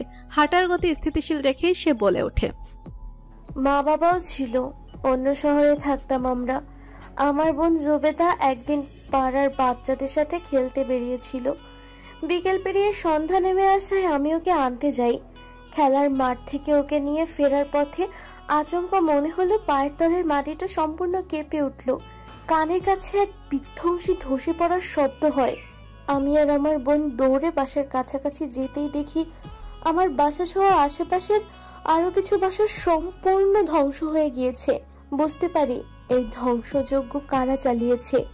সঙ্গে এও বুঝতে পারি এই বর্বররা শুধু আমার মাথার উপরের ছাদ নয় বরং বাবা মার ছায়াও কেড়ে নিয়েছে। এতিম হয়ে গিয়েছি। এতদূর শুনতেই হৃদয়ন অস্থির অনুভব করে প্রশ্ন করে। তারপর কি করল? এই শহরে তখন একের পর এক হামলা চলছিল। জীবনের নিশ্চয়তা ছিল না। বাঁচার তাগিদে বোনকে নিয়ে ওই শহর ছেড়ে যত সম্ভব দূরে চলে আসি। এখানেও যে খুব জীবনের নিশ্চয়তা আছে তা নয় কিন্তু এখানে হামলার পরিমাণ এখনও কম। বেশ সরল ভঙ্গিতে কথাগুলো বলে জারিয়া হৃদয়ন বলে এখানে তোমার পরিচিত কেউ আছে? ওহু। তাহলে কার ভরসায় আছো এখানে? জীবিকা কীভাবে চলছে? জারিয়া মৃদু হেসে বলে আল্লাহর ভরসা উনি রিজিক রেখেছেন বলেই জীবিকা চলছে। রিজিক ফুরিয়ে গেলেই দমটাও ফুরিয়ে যাবে। হৃদয়নের পা আচানক থেমে গেল। সে অবাক হয়ে তাকিয়ে থাকে সরল মুখশ্রীর মেয়েটার দিকে অতপর বলে ওঠে তুমি বেশ সাহসী জারিয়া। জারিয়া হেসে প্রশ্ন করে একজন সৈন্যের মতো? যুদ্ধ যেহেতু লড়ছ সে তো সৈন্যের মতোই। রাস্তার পাশে একটা ছোট একরুমের ধ্বংসস্তূপের সামনে এসেই জারিয়ার পা থেমে যায়। সে সৌজন্যমূলক হাসি দিয়ে বলে ধন্যবাদ সাবধানে যাবেন। রেদান শীতল চোখ মেলে দেখে জারিয়ার ছোট্ট বাসা নামক ধ্বংস স্তূপটাকে বাড়ির একপাশের দেওয়ালের অর্ধেকটাই বলতে গেলে নেই। সেইটুকু একটা বড় চাদর দিয়ে কোনো মতে ঢাকা। হৃদয়ন কিছু একটা ভেবে আচমকা নিজের গায়ের উষ্ণ জ্যাকেটটা খুলে জারিয়ার হাতে ধরিয়ে দিয়ে বলে তুমিও সাবধানে থেকো আসি। জারিয়া অবাক হয়ে কিছুক্ষণ নিজের হাতের জ্যাকেটের দিকে তাকিয়ে রয়। রেদান ততক্ষণে বেশ খানিকটা দূরে চলে গিয়েছে। জারিয়া হঠাৎ পিছু ডাকতে সে ফিরে তাকায়। জারিয়া সরল গলায় বলে ওঠে। আমার অপেক্ষা করবেন। আমাকে ছাড়া কাল রাতে ওই দিকটা যাবেন না দয়া করে। বাণী তখন তীব্র মাথার যন্ত্রণায় ছটফট করছে। ব্যথায় থেকে থেকে মৃদু গোঙাচ্ছে সে। বন্যি তখন ভীত হয়ে দূর হতে মাম্মার ওই তরপানো দেখল এবার সে সাহস করে উঠে দাঁড়ায়। সবার আগে দৌড়ে গিয়ে সে টিস্যু বক্স হতে দু তিনটে টিস্যু হাতে নিয়ে বাণীর কাছে এগিয়ে যায়। অতপর বাণীর সামনে বসে নিজের ছোট ছোট হাত দ্বারা অতি সাহসের সঙ্গে তার নাক হতে বের হওয়া রক্তটুকু মুছে দেয়। বাণী ঝাপসা চোখ মেলে তা দেখে। ফের চোখ বন্ধ করে মেয়ের এই যত্নটুকু অনুভব করে। বন্যি সন্তর্পণে কাজটুকু সেরে মাম্মার হাত আলতো টেনে ধরে বলে আমার কোলে শুয়ে পড়ো মাম্মা আমি মাথায় হাত বুলিয়ে দিই ব্যথা চলে যাবে। বাণী মেয়ের কথা শুনে ফের চোখ মেলে তাকায়। তীব্র যন্ত্রণার মধ্যেও সামান্য স্বস্তি খুঁজে পায়। উপরওয়ালা তার এইটুকু মেয়েকে এত বুঝ কেন দিয়েছে? যাতে মায়ের কষ্টটুকু বুঝতে পারে? বাণী আর কোনো টুশব্দ না করে নীরবে মেয়ের কোলে মাথা রেখে ফ্লোরে শুয়ে পড়ে। বন্যি ভদ্র বাচ্চা একটুও জ্বালাতন করে না মাকে, বরং নিজের ছোট হাত জোড়া দ্বারা বাণীর চুলের মাঝে বিলি কাটতে থাকে। এই কাজটা সে তার মাম্মার কাছ থেকে শিখেছে। বন্যি যখন অসুস্থ হয়, তখন তার মাম্মা এভাবেই তার মাথায় হাত বুলিয়ে দেয়, সঙ্গে অবশ্য ওষুধও দেয়। কিন্তু বন্যি তার ওষুধ চিনে না। সে কীভাবে মাম্মাকে ওষুধ দিবে? বড় হয়ে ডাক্তার হলে কেমন হয়? তখন সে ঠিকই ওষুধ চিনবে। মাম্মার ব্যথা কমানোর জন্য সে ওষুধ খুঁজে এনে দিতে পারবে। বন্যির ছোট্ট মস্তিষ্কের হাবিজাবি ভাবনার মাঝে বাণী ধীরে ধীরে ঘুমে তলিয়ে যায়। বন্যি তবুও নড়ে না। একইভাবে বসে রয়। নড়লে যদি মাম্মা উঠে যায় হৃদয়ন সবেমাত্র ক্যাম্পিং এরিয়ায় ফিরে এসেছে। নিজের তাঁবুতে প্রবেশের পূর্বে রাফি তাকে টেনে নিজের তাঁবুতে নিয়ে যায়। প্রত্যয় সেখানে আগে থেকে উপস্থিত ছিল। হৃদয়ন অবাক সুরে প্রশ্ন করে তোরা এখনও ঘুমাসনি? রাফি ভুরুদয়ের মাঝে ভাঁজ তুলে প্রশ্ন করে। আগে বল তোর চক্কর কি? হৃদয়ন অবাক হয়। আমার আবার কিসের চক্কর? প্রত্যয় জানতে চায়। কি নিয়ে জিজ্ঞাসা করা হচ্ছে বুঝতে পারছি না। না। রাফি হৃদয়ানের পিঠে চাপড় মেরে বলে শালা সারা রাস্তায় আমরা নোটিস করেছি। তোর চোখ সরছিল না জারিয়ার থেকে। কেস কি এখন সেটা বল? হৃদয় গঠিত ব্যাপার? হৃদয়ন বিরক্তি মিশ্রিত গলায় বলে কিসের সাথে কি পান্তা ভাতের ঘি? প্রত্যয় বলে অস্বীকার করবি না হৃদন প্রথম দিনও তুই ওর দিকে কীভাবে তাকিয়েছিলি তা কিন্তু আমরা ভুলে যাইনি। হৃদয়ন একটা দীর্ঘশ্বাস ছেড়ে বলতে শুরু করে আসলে এখানে আসার পর থেকে এখানে স্থানীয় সবার জন্যই মায়া লাগছে আমার। জারিয়াও এর ব্যতিক্রম নয়। হয়তো ওকে একটু কাছ থেকে দেখেছি বলে মায়াটা একটু বেশিই লাগছে এই আর কি। রাফি জানতে চায়। তাহলে ভেবলার মতো ওর দিকে তাকিয়েছিলি কেন? আরে ভাই ওর চোখের রং একটু ব্যক্তিক্রমী। নিজে স্বচক্ষে কখনো নীল চোখের মানুষ দেখিনি। তাই আগ্রহবশত একটু দেখেছিলাম। সেই সামান্য ব্যাপারটা টেনে তোরা কোথায় নিয়ে যাচ্ছিস? হৃদয়নের কিছুটা বিরক্তি নিয়ে বলা কথাটুকু শুনে রাফি প্রসঙ্গ বদলে বলে আচ্ছা যাক বাদ দে। কিন্তু দোস্ত তোর জ্যাকেট কোথায়? হৃদয়ন অকপটে বলে ফেলে। জারিয়াকে দিয়ে এসেছি। কথাটা বলেই সে জিভ কাটে। অতপর বন্ধুদের দিকে তাকাতেই দেখে তারা কেমন সন্দেহের দৃষ্টিতে তাকিয়ে আছে। প্রত্যেক খানিকটা মস্করা করে বলে মন দিসনি কিন্তু জ্যাকেট দিয়ে চলে এলি। রাফি এবার ঠোঁট টিপে হাসতে শুরু করে। প্রত্যয়ও সামান্য হাসছে। হৃদয়ন বিরক্ত হয়ে বলে দ্যাট? বিশাল আলিশান বাড়ির বাহিরে কঠোর নিরাপত্তার বেড়াজাল। একদল লোক বর্ডার পাহারা দেওয়ার মতো করেই টহল দিয়ে বেড়াচ্ছে বাড়ির চারিদিকে। বাড়ির সামনে পাকা রাস্তার অপর পাশটা কেমন গভীর জঙ্গলে। সেই জঙ্গলের ভেতর হতে আপন আপন স্থান হতে সেই টহলকারীদের উপর নজর রাখছে চারজোড়া চোখ। টহলকারীদের প্রতিটি গতিবিধি পর্যবেক্ষণ করতে ব্যস্ত তারা। আচমকা সাহেব ফিসফিসিয়ে বলে ওঠে বাল আমার মশা কামড়ায় মাইরা ফেলতেছে। সাদাত সাইফের দিকে সামান্য চোখ রাঙিয়ে তাকিয়ে চুপ থাকার ইশারা করে। সাইফ চুপ হয়ে গেলেও তার মুখ থেকে বিরক্তি ভাবটা সম্পূর্ণ কাটে না। কিছুক্ষণের মধ্যেই জোনায়েত ফারদিন চাপাসরে ফিসফিসিয়ে ওঠে। কেউ বের হচ্ছে সম্ভবত। সাদাত এবং সাহেব সঙ্গে সঙ্গে প্রধান ফটকের দিকে দৃষ্টি স্থির করে। বিশাল ফটকটা ধীরে ধীরে দুদিকে খুলে যায়। একটা কালো রঙা গাড়ি বাড়ির ফ্রন্ট ইয়ার্ড হতে বেরিয়ে আসে। সাহেব দ্রুত নিজের হাতের ক্যামেরায় তা দৃশ্যবন্দী করে। জুম করেও বেশ কিছু ছবি তোলে। সম্পূর্ণ কাজটা সে করে অতি নীরবে। সাদাত তীক্ষ্ণ দৃষ্টি মেলে গাড়ির ভেতরে বসা মানুষটাকে দেখার চেষ্টা করে।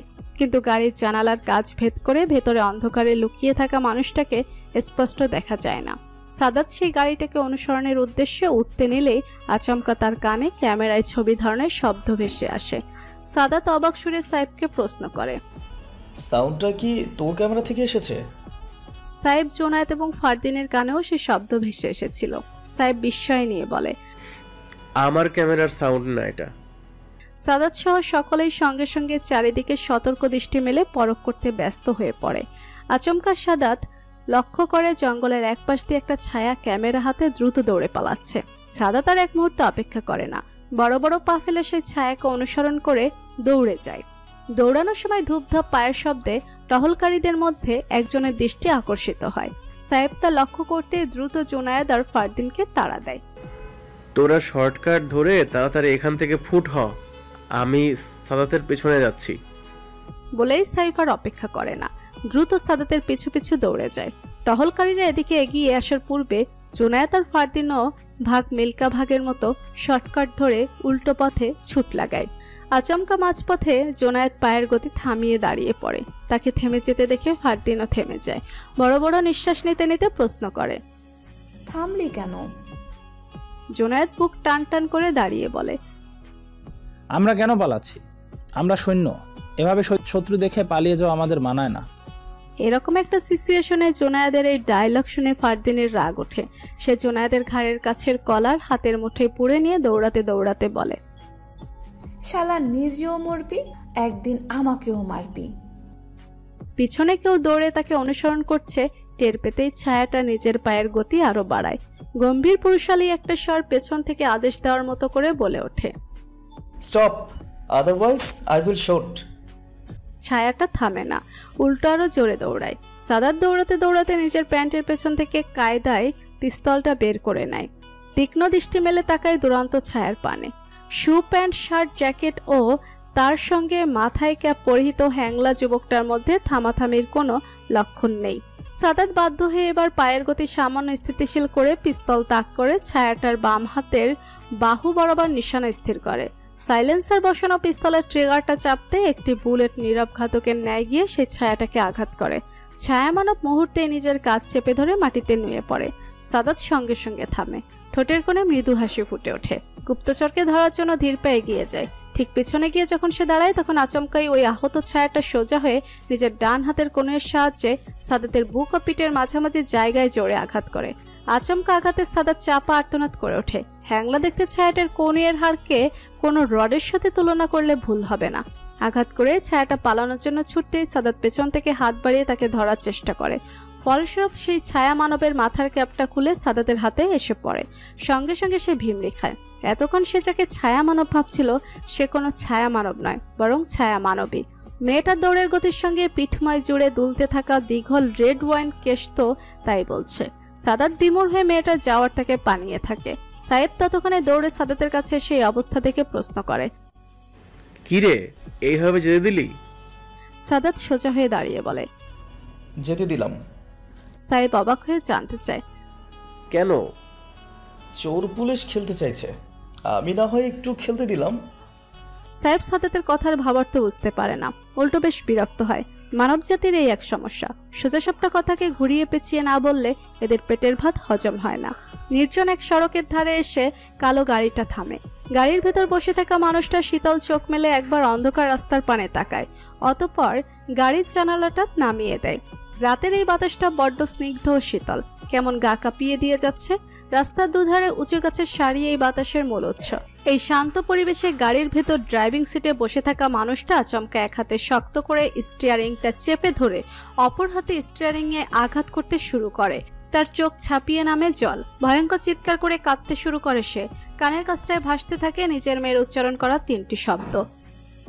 আই হেট ইউ রাতের আধারে এবং জনমানবহীন নির্জন রাস্তায় হিরণের কান্না মিশ্রিত চিৎকারগুলো মিলিয়ে যেতে থাকে। সব ছক এলোমেলো হয়ে গিয়েছে। তার মেয়েকে আর সব কিছু নিয়ে সে বুঝ দিতে পারলেও এবার বুঝতে আর আর কোনো উপায় নেই। বন্যির স্বচক্ষে ঘটনাটার সাক্ষী হয়েছে। সে দেখেছে কীভাবে তার পাপা তার মামাকে আঘাত করছিল। এই ঘটনার কি ব্যাখ্যা দেবে হিরণ? তার মেয়ে আদৌ কোনো ব্যাখ্যা কারে তুলবে? মুহূর্তেই হিরণের চোখের সামনে ভেসে ওঠে বাণীর আহত মুখ। নিজের প্রতি তীব্র ঘৃণা অনুভব করে সে। কীভাবে পারল সে বাণীকে আঘাত করতে? ওই শমশেরের কথায় সে কীভাবে নিজের উপর থেকে নিয়ন্ত্রণ হারিয়ে ফেলল? আর কেউ না জানুক হিরণ তো জানে, বাণী দুশ্চরিত্রা নয়। তাহলে সেই মুহূর্তে কেন নিজের বিধ্বংসের রাগের উপর নিয়ন্ত্রণ রাখতে পারল না সে? কি করবে সে? বাণী আর বন্যির পায়ের কাছে গিয়ে লুটিয়ে পড়বে? মাপ চাইবে? মাপ করবে আদৌ? হিরণ এলোমেলো হাতে নিজের পকেট থেকে ফোনটা বের করে। অতপর গুগলে গিয়ে সার্চ করে দ্রুত। Is it dangerous to get injured in head Google সঙ্গে সঙ্গে নিজের উত্তর পেশ করে। Head injuries are on of the most common causes of disability and health in adults the injury can be as mild as a bump bruise, or cut on the head. Head injuries causes internal bleeding and damage to the brain. লেখাটুকু পড়তে হিরণ আতঙ্কিত হলো। তার স্পষ্ট মনে আছে, সে কি পরিমাণ জোরে বাণীর মাথায় আঘাত করেছে। একবার নয়, বরং অনেকবার। হিরণের কানে ফের ভেসে আসে রুমের ভেতর হতে বাণীর যন্ত্রণায় করা আঘাত, আর্তনাদ। সে আবার নিজের মাথা চেপে ধরে। নিজের করা পাপের কথা ভেবেই তার নিঃশ্বাস আটকে আসে। মনে হয় যেন সমুদ্রের অতল ধীরে ধীরে তাকে গ্রাস করে নিচ্ছে। চারিদিকে কোনো কিনারা নেই। হিরণ আচমকা উপলব্ধি করে তার বহু বছরের তিলে তিলে গড়া এই সাম্রাজ্যের ছাদ ছিল বন্যির ভালোবাসা, যা সবসময় তাকে রোদ, তাপ, ঝড়, বৃষ্টি হতে রক্ষা করত। কিন্তু আজকে মনে হচ্ছে যেন সেই ছাদ ভেঙে পড়েছে। আর এতটা কঠিনভাবে ভেঙে পড়েছে যে আর কখনো তা হিরণকে একরত্তি পরিমাণ ছায়া দিবে না। নীরব হোটেল রুমটায় প্রবেশ করতেই সর্বপ্রথম লাইট জ্বলে দেয় এক অজ্ঞাত নারী। দরজাটা লক করে সে ধীরে ধীরে বিছানার ধারে এগিয়ে যায়। হাতের ক্যামেরাটা সাবধানে রেখে আয়নার সামনে গিয়ে দাঁড়ায় সে। অতপর সন্তর্পণে গায়ে জ্যাকেট এবং ভেতরে পড়ে থাকা শার্টটা খুলে ফেলে। আপাতত তার গায়ে কেবল একটা স্লিপলেস টি শার্ট রয়েছে। চিকন ফিতের ন্যায় হাতের নিচে সুস্পষ্ট দেখা যাচ্ছে কাঁধের সাদা রঙা ব্লেন্ডেসটা। নিজের বিরক্তি মাখা দৃষ্টিটা ক্ষতের পট্টির দিকে স্থির করে রাখে সে। ভাগ্যিস বুলেটটা তার কাঁধের চামড়া ঘেসে গিয়েছে কেবল। না হয় ভিন দেশের মাটিতে আহত হাত নিয়ে কি ঝামেলাটাই না পোহাতে হতো তার। অবশ্যই সৈন্যের নিশানা খুব নিখুঁত ছিল। এই তো দৃশানের সাত কপালের ভাগ্য যে সে ওই মুহূর্তে স্থির দিকে না দৌড়ে বারবার দিক পরিবর্তন করে দৌড়াচ্ছিল। যেন পেছন থেকে কেউ গুলি ছুড়লেও নিশানার জায়গা মতো না লাগে। একটা দীর্ঘশ্বাস ছেড়ে সিঙ্গেল আলমারিটা খুলে সেখানে ঝোলানো তিনটা টি শার্ট থেকে একটা ঢিলে ঢালা টি শার্ট হাতে নিয়ে নেয় দৃশান। সঙ্গে নিজের ব্যক্তিগত টাওয়ালটাও নিয়ে নেয়। মূলত সে শাওয়ার নেওয়ার পরিকল্পনা করছে। ওয়াশরুমে যাওয়ার সময় তার ফোনটা আচমকা শব্দ তুলে বেজে ওঠে। দৃশান দ্রুত কল রিসিভ করে কানে ধরতেই অপর পাশ থেকে একজন মধ্যবয়স্ক পুরুষ নিজস্ব মাতৃভাষায় বলে ওঠে।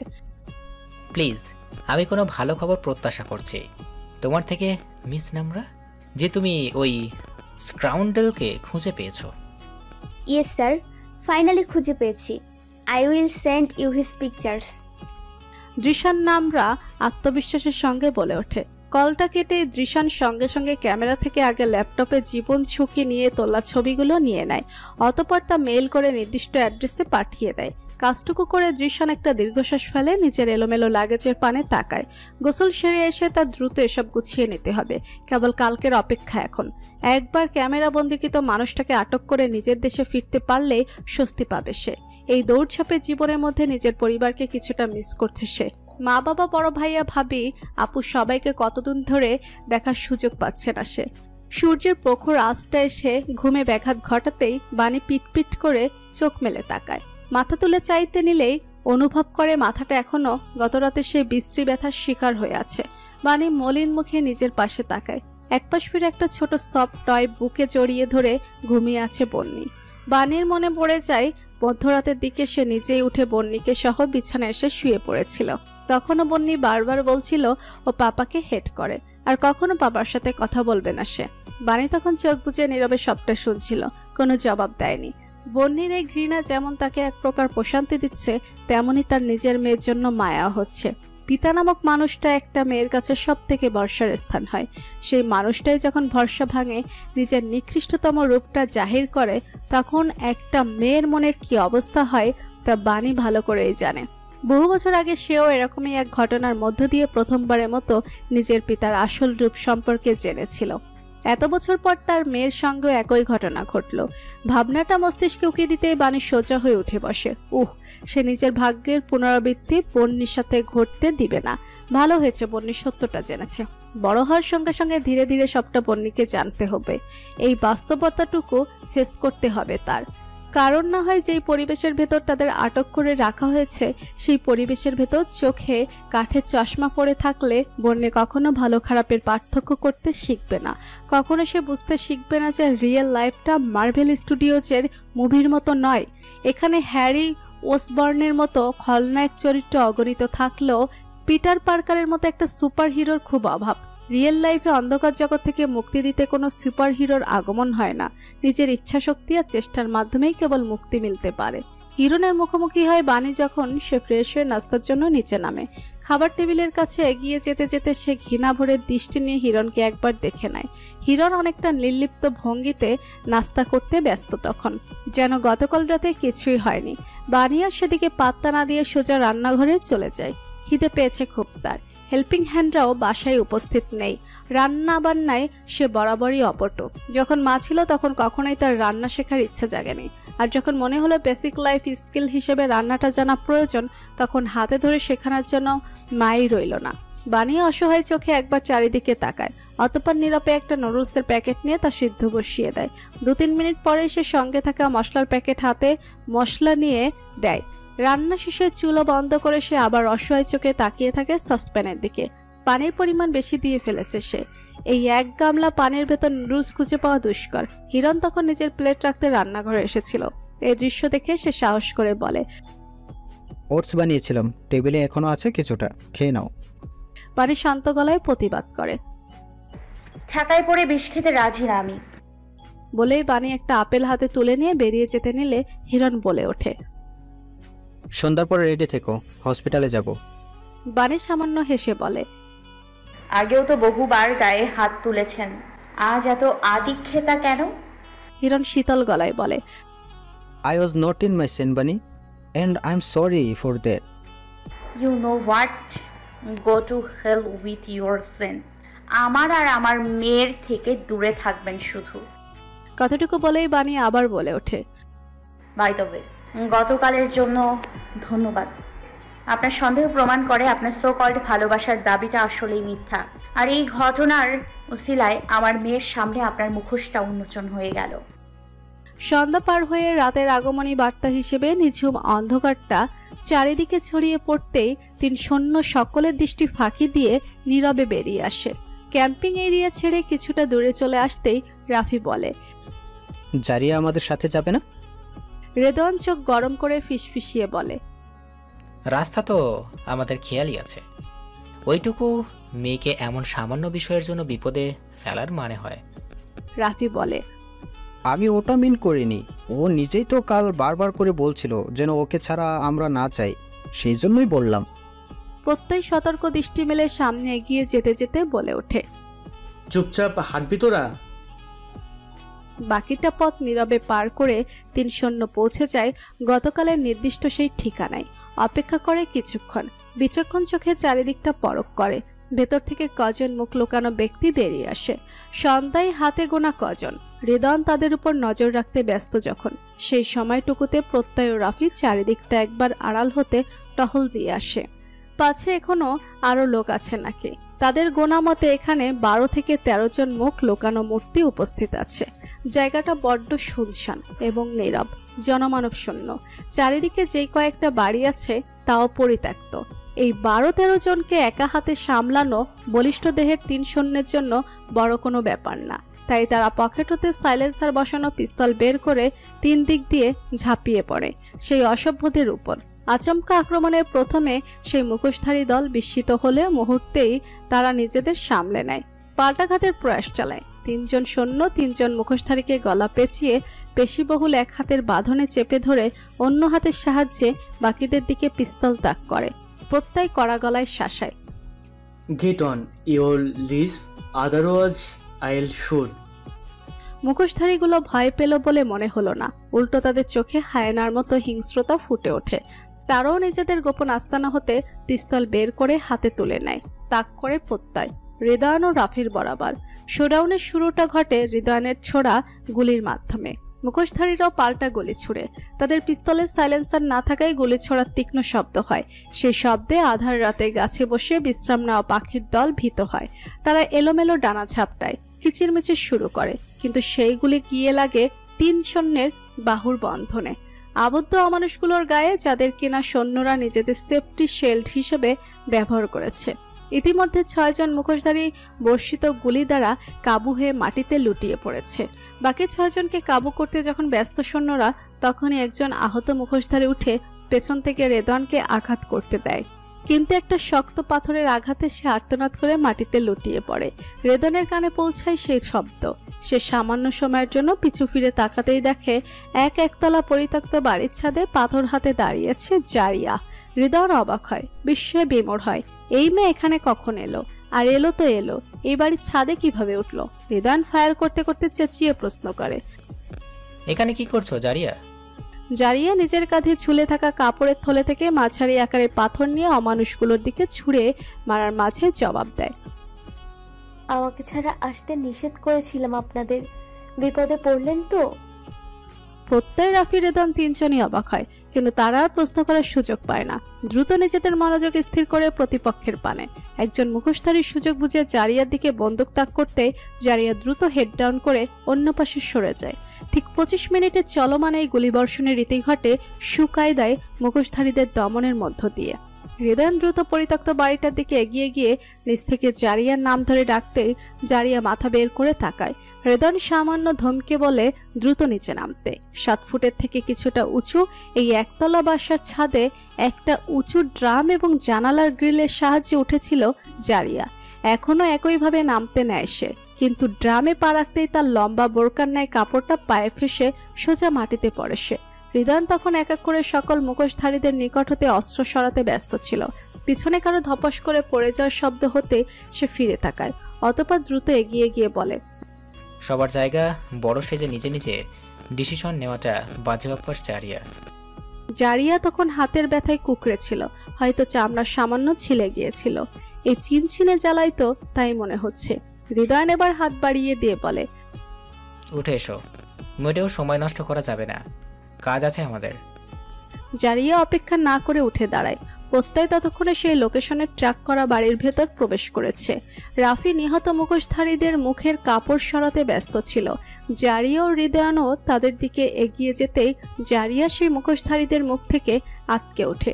সে ভীতস্বরে বলে ওঠে ইয়া রব! হৃদয়ন ও রাফি তার ভীত মুখশ্রী দেখে। রাফি ছোট ছোট করে প্রশ্ন করে কি হচ্ছে জারিয়া? জারিয়া কাপা গলায় বলে এরা আমার দেশের নয়। আমার দেশের নয় কথাটা দ্বারা জারিয়া কি বোঝাতে চেয়েছে বুঝতে পেরে হৃদয়ন এবং রাফিও অবাক হয়। রাফি আরও একবার মুখোশধারীদের বেশভূষা দেখে অবাক গলায় প্রশ্ন করে তুমি কীভাবে নিশ্চিত জারিয়া? ওদের বেশভূষা দেখছ? গলায় তাবিজও আছে। জারিয়া ফুসে ওঠে। তাবিজ আমাদের ধর্মকে রিপ্রেজেন্ট করে না। কথাটুকু বলেই জারি একজন নিহতের পাশে বসে তার ফুল স্লিভলেস টি শার্টের হাতা কিছুটা উপরে তুলে দেখিয়ে বলে, দেখুন প্রমাণ, এটা ওই অমানুষগুলোর চিহ্ন। ওরা বেশভূষা বদলে মুসলিম সেজেছিল। রাফি এবং রিদান বিচক্ষণে দৃষ্টি মেলে দেখে নিহতের হাতে সেই ট্যাটু জাতীয় জিনিসটা। কালো খোদাই করা ট্যাটু দিয়ে একটা সুনিপুণ নকশা আঁকা, হাতের কবজির একটু নিচে। এই নকশাটা হৃদয়াঞ্চনে দ্য এস্টার অব ডেভিডের নকশা, অর্থাৎ ইহুদিদের, জারিয়া ক্ষোভ মিশ্রিত গলায় বলে ওঠে। এরা কখনোই আমাদের দেশের কিংবা আমার ধর্মের মানুষ না। আমরা নিরস্ত্র। আমাদের কাছে অস্ত্র থাকলে এভাবে মরতে হতো না আমাদের। প্রতিরোধ করতাম প্রতিরক্ষা করতাম। হৃদয়ন কিছু বলার পূর্বেই বাড়ির ভেতর থেকে একটা ল্যাপটপ হাতে প্রত্যয় ত্রস্ত্র পায়ে বেরিয়ে আসে। চাপাসরে চিৎকার করে বলে আই ফাউন্ড দিস রাফি প্রশ্ন করে সন্দেহজনক আর কিছু পাসনি? না কিন্তু এই ল্যাপটপ থেকেই সব পরিচালনা করা হতো। This is a big thing Hridayan তখন মনে মনে কিছু একটা হিসাব মেলাতে ব্যস্ত ছিল। আচমকা সে চেঁচিয়ে ওঠে। শিট আমাদের এখান থেকে যেতে হবে এখনই। প্রত্যয় অবাক গলায় প্রশ্ন করে। কি হয়েছে Ridwan Pratyay they don't belong from this country খুব বড় একটা নকশা এঁকেছে এই বিজন মোড়া we act them any time এদের ব্যাকআপ এখানে পৌঁছাতে পারে। We have to let out of war right now কথাটুকু বলেই রিদান দ্রুত সামনের দিকে দৌড়ানো শুরু করে। কথার ভাবমূর্তি বুঝতে পেরে রাফিও ছুটে। প্রত্যেক কিছু একটা ভেবে দ্রুত নিহতদের পকেটে হাতরে একটা ফোন বের করে সেটা থেকে সিম কার্ড এবং মেমোরি কার্ড খুলে নিজের পকেটে ভরে সেও ছুটে। বোকার নেই কেবল বসে রয় জারিয়া। তিন সৈন্য এতক্ষণ নিজেদের মধ্যে বাংলায় কথা বলছিল। যেই কথার একাংশ জারিয়ার বোধগম্য হয়নি। সে কেবল ফ্যাল করে তাকিয়েছিল। বিশ পঁচিশ হাত দূরে যেতে হৃদয়নের খেয়াল হয় জারিয়ার সাথে নেই। সে থেমে পিছনে ফিরে দেখে জারিয়া বোকার মতো তাদের পানে তাকিয়েছে দূর হতে। হৃদয়ের একটা দীর্ঘশ্বাস ছেড়ে বিড়বিড়িয়ে বলে damn this girl is going to be death of me বলে এসে উল্টো ছুটে। জারিয়ার কাছে গিয়ে বিন্দুমাত্র সময় অপচয় না করে তার হাত চেপে ধরে ইংরেজিতে বলে ওঠে। কাম উইথ মি অজান্তে রেদান জারিয়ার ব্যথা পাওয়া হাতটাই চেপে ধরেছে। তবুও জারিয়া বিন্দুমাত্র শব্দ করে না। সে ছোট থেকেই কেবল এক ধরনের ভিনদেশি দেখে বড় হয়েছে। যারা কিনা জারিয়ার গভীর রাতের অনিদ্রার কারণ, যারা কিনা জারিয়ার ছোট বোন জুবেদার আতঙ্কের কারণ, কিন্তু এই ভিন দেশে ভিন্ন। এই ভিন দেশের আশেপাশে নিজেকে নিরাপদ অনুভব করছে সে। আর কোনো কথা না বলে জারিয়া নিঃশব্দে উঠে রেদনের সঙ্গে তাল মিলিয়ে এই ভয়ঙ্কর আস্থানা থেকে ছুটে পালানোর জন্য পা বাড়ায়।